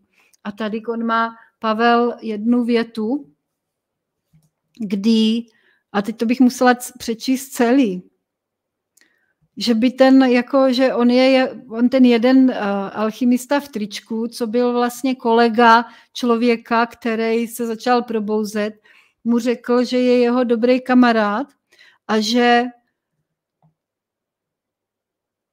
že by mu klidně i dolámal ruce, abych mu, aby mu daroval čas na před, přemýšlení. Jo? Že by i to přátelství je v tom, že třeba někdo někomu dá pár facek, aby ho šokoval, aby ho zastavil, aby ho donutil vlastně přehodnotit svůj život. Takže někdy můžeme ty události a ty věci, co se nám dějou, které vnímáme úkorně, tak jim můžeme poděkovat, protože nás právě přivedou na tu správnou cestu. A někdy to dělají třeba i ti přátelé naši, někdy to dělají nepřátelé, někdy to dělají ti, co pro nás boj, proti nám bojují jo, ve válkách ego proti egu.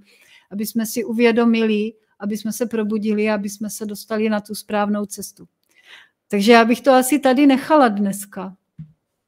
Ale určitě, já myslím, že jsme se zhostili eh, našeho dnešního tématu perfektně. Řekla bych, že to mělo úspěch a skutečně eh, ještě k těm komentářům. Eh, já jsem se naučila za posledního půl roku prostě takovou věc, že vlastně mě posílilo to, že jako mě nemusí mít každý rád a je to v pořádku. A že se nemusím každému líbit a že je to v pořádku prostě, jo, protože já jsem dřív furt měla takovou potřebu, že jsem jako musím každému zalíbit, že prostě jako to není možný, jo. A úplně zbytečný na sebe tlačit takhle a tohle si myslet. Prostě ne, někdo to má v hlavě prostě přeskládaný tak jinak, že prostě mu do noty nezahrajeme. Jo, a má i třeba tendenci nás konfrontovat a podobně, jako jo, to jsou prostě různí lidi, jo. Ale hmm. skutečně tady někdo dokonce psal, že sleduje i německou alternativní scénu a že tam teďka probíhá úplně to samé, že o tom taky mluvili, prostě úplně na palici komentáře a jako to, tohle je prostě teďka asi všude stejný, protože se i třeba probouzejí lidi, kteří se dřív neprobudili a teďka třeba i začínají a nemají hmm. základy. Jo, přeci jenom naši diváci, les kdo z nich s náma jde docela dlouho a mm-hmm. už jako má něco od, jako odpracovaného, ale lidi, kteří třeba se teď probudí na základě šoku tady z té situace, že jim dojde, že fakt už jako se nedá jako to brát jako, uh, jako bernou minci třeba, co tady vláda říká, nebo tohle, že prostě je to absurdní, tak jim to třeba donutí je to se probudit, no a tyhle lidi jako jsou v tom šoku, v tom tlaku s nedostatkem energie a nemají šanci vlastně transformovat. Jo. Já si pamatuju, že někdy před v roce 2019, někdy v prosinci, byl na cestách k sobě rozhovor eh, s Ježíš Maria. No, s jednou prostě mističkou z Moravy, dlouhý blondětý vlas, jistě ji znáte. A ona právě říkala tam uh, s Alžbětou, že to, co, jakože už ne, nemáme čas a že to, co jsme neodčistili, takže už se odčistit nebude dát. Jo. A já jsem tehdy šílela a říkala jsem, jak to můžete říkat, to, to je zablvost prostě a tohle, jo. To přece těm lidem nemůžete říct tohle, jo. No hele, za dva měsíce přišel covid a vlastně ty lidi se dostali do tlaku, jednak energetického, plný strachu a jednak i finančního. A najednou jako to vlastně začala být pravda, jo. Takže jsem kolikrát hmm. se holkám tam jako na dálku jako mentálně omluvila a říká jsem, oni měli pravdu prostě, protože teďka už se dost blbě transformuje hmm. jako u těch lidí, kteří ne, ani nezačali jako před covidem, protože nemají peníze třeba chodit intenzivně ani, jo, anebo nemají základy, tudíž jako pod tím tlakem se vždycky mnohem hůř pracuje, že? Jo, takže to je jako fakt, hmm. je, je to tak, no, je to teďka tak, že jako už ta transformace není tak snadná jako předtím, ale zase o to je brutálnější, bych řekla, jo. Pozlim, no. no hodně hmm. pozlim to jde, no. No ty jsi, ty jsi třeba říkala takovou zajímavou věc na začátku, že vlastně ti, co jsou v Matrixu a co chodí do té práce, že jsou jakoby víc otupělí, že my možná třeba vnímáme ty energie daleko víc a jsme třeba jako, já říkám unavení, ale ono to není jako, já to ani nevnímám jak tu strašnou únavu, jako prostě jiný stav, jako, jo. Prostě ti Jinou spadl, po... spadl řemen. No. No jinou polohu té existence. A třeba mně se třeba stalo na, na konstelacích zrovna včera, jako to bylo takový mazec, jako ty konstelace jsou čím dál tím silnější, intenzivnější. A i když přijdou třeba nováčci, to je nářez, ale oni to chápou, jo, jako třeba vysvětlit někomu, co jsou konstelace, tak může přeč, pře, přečíst 150 knížek a neví to, dokud to neprožije, ale když přijde a vysvětlí se mu to, tak on to hnedka pochopí a hned naskočí. Velice rychle. Jo, takže mně se třeba stává, no já taky stojím v rolích, protože konstelujem dvě a normálně mně se, poda, mně se tam se, to jsou takové neuvěřitelné role, jo, ale podařilo se mně nádhern, prostě to bych ještě chtěla na závěr říct, jo, že jsem vlastně načetla byla, stála jsem v konstelaci za sen, jo, teď si musím dát pozor, abych to neřekla, jako, jo, jako jenom za sen, který navštívil jednu ženu, s kterou neměl v podstatě nic a navštěvoval ji úporně, jo.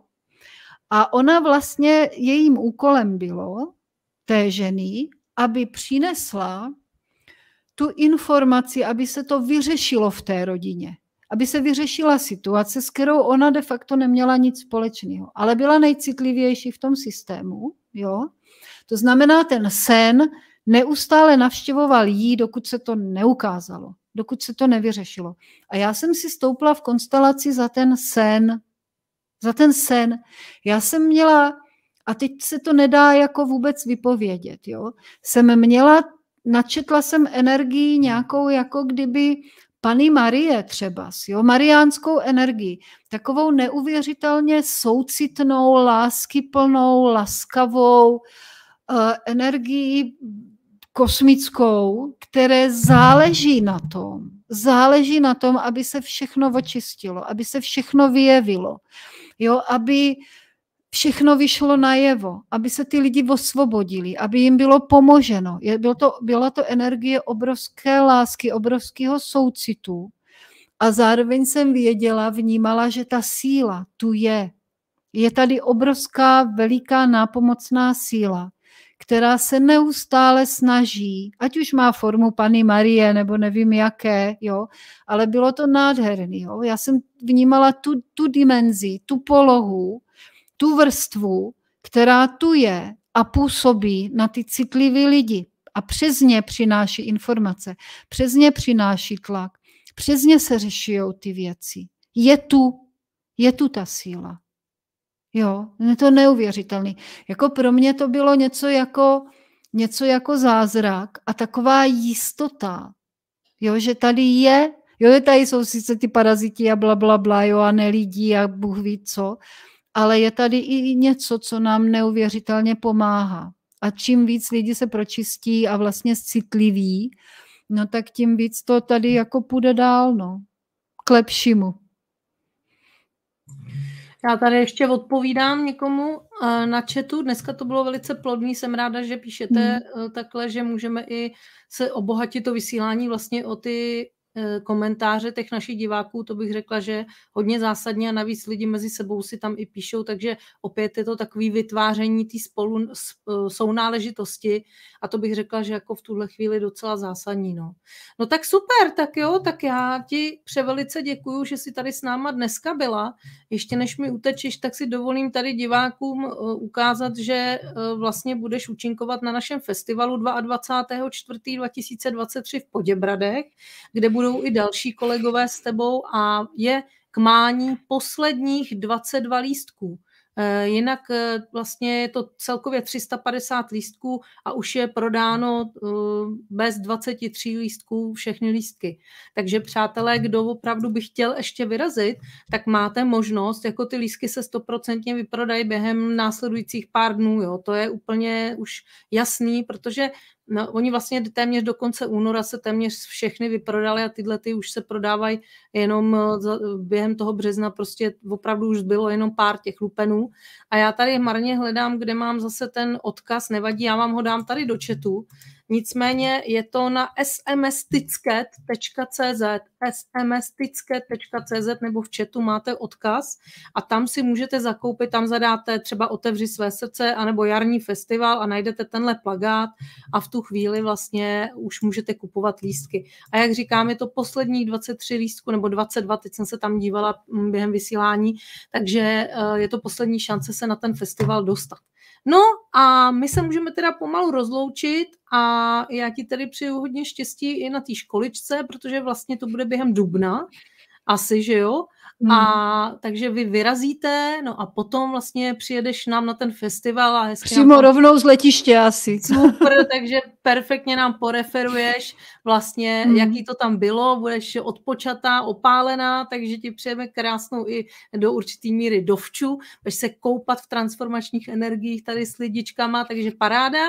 No a můžeš se ještě rozloučit s diváky. Hmm, takže já děkuji všem za pozornost, děkuji moc za to, jak jste tohle téma přijali protože uh, to není tak jako úplně snadný a já se jako tady představuju jako docela dost radikální, nekompromisní, opravdu nesmlouvavý člověk, který si fakt nenechá nic líbit a dokáže jako opravdu odseknout, jo, nebo jako opravdu si tu svou hranici uhájit a to by mohli moji kamarádi vyprávět. vyprávět. No a ještě bych chtěla poděkovat Pavlovi Džubanovi za tu knižku. Já jsem jako měla to připravený ještě dál, jo, ale nechci už, prostě zase bych, jo, jako bych asi to celý neřekla, takže to nechám na příště, to, co tady z tohohle, jo, nechci to rozdělovat jako na půlky nějak, jo, takže nechám to ještě na příště, ještě si najdu ty texty, co mě poslal, jo, jako dřív někdy, to snad už jsou dva roky a na, zatím na to nedošlo, ale já to všechno, ty, všechny ty dluhy, co jsem si dala, tak jako v rámci vyrovnávání harmonie a příjmu a výdeje, já to všechno jako vyřeším, vyřídím, odvysílám, co jsem si kdy slíbila. A teďka vám přeju vlastně jako krásný jaro, protože už nám to brzo začne, že? Určitě příští týden má být 18 eh, stupňů eh, i v oblasti Ostravy, oh. kam já se chystám a i tady, takže bude nádhera, jenomže přátelé, pak to zase spadne. Takže zase hmm. na Velikonoce bude tak kolem těch 10 stupňů možná, ale už to bude takový první záchvěv, takže děkujeme ti, že jsi s náma dneska byla. Přátelé, já se s vámi také loučím a nechť vás všechny provází síla vědomého tvůrce. Ahoj. Taky, mějte se hezky, naschle.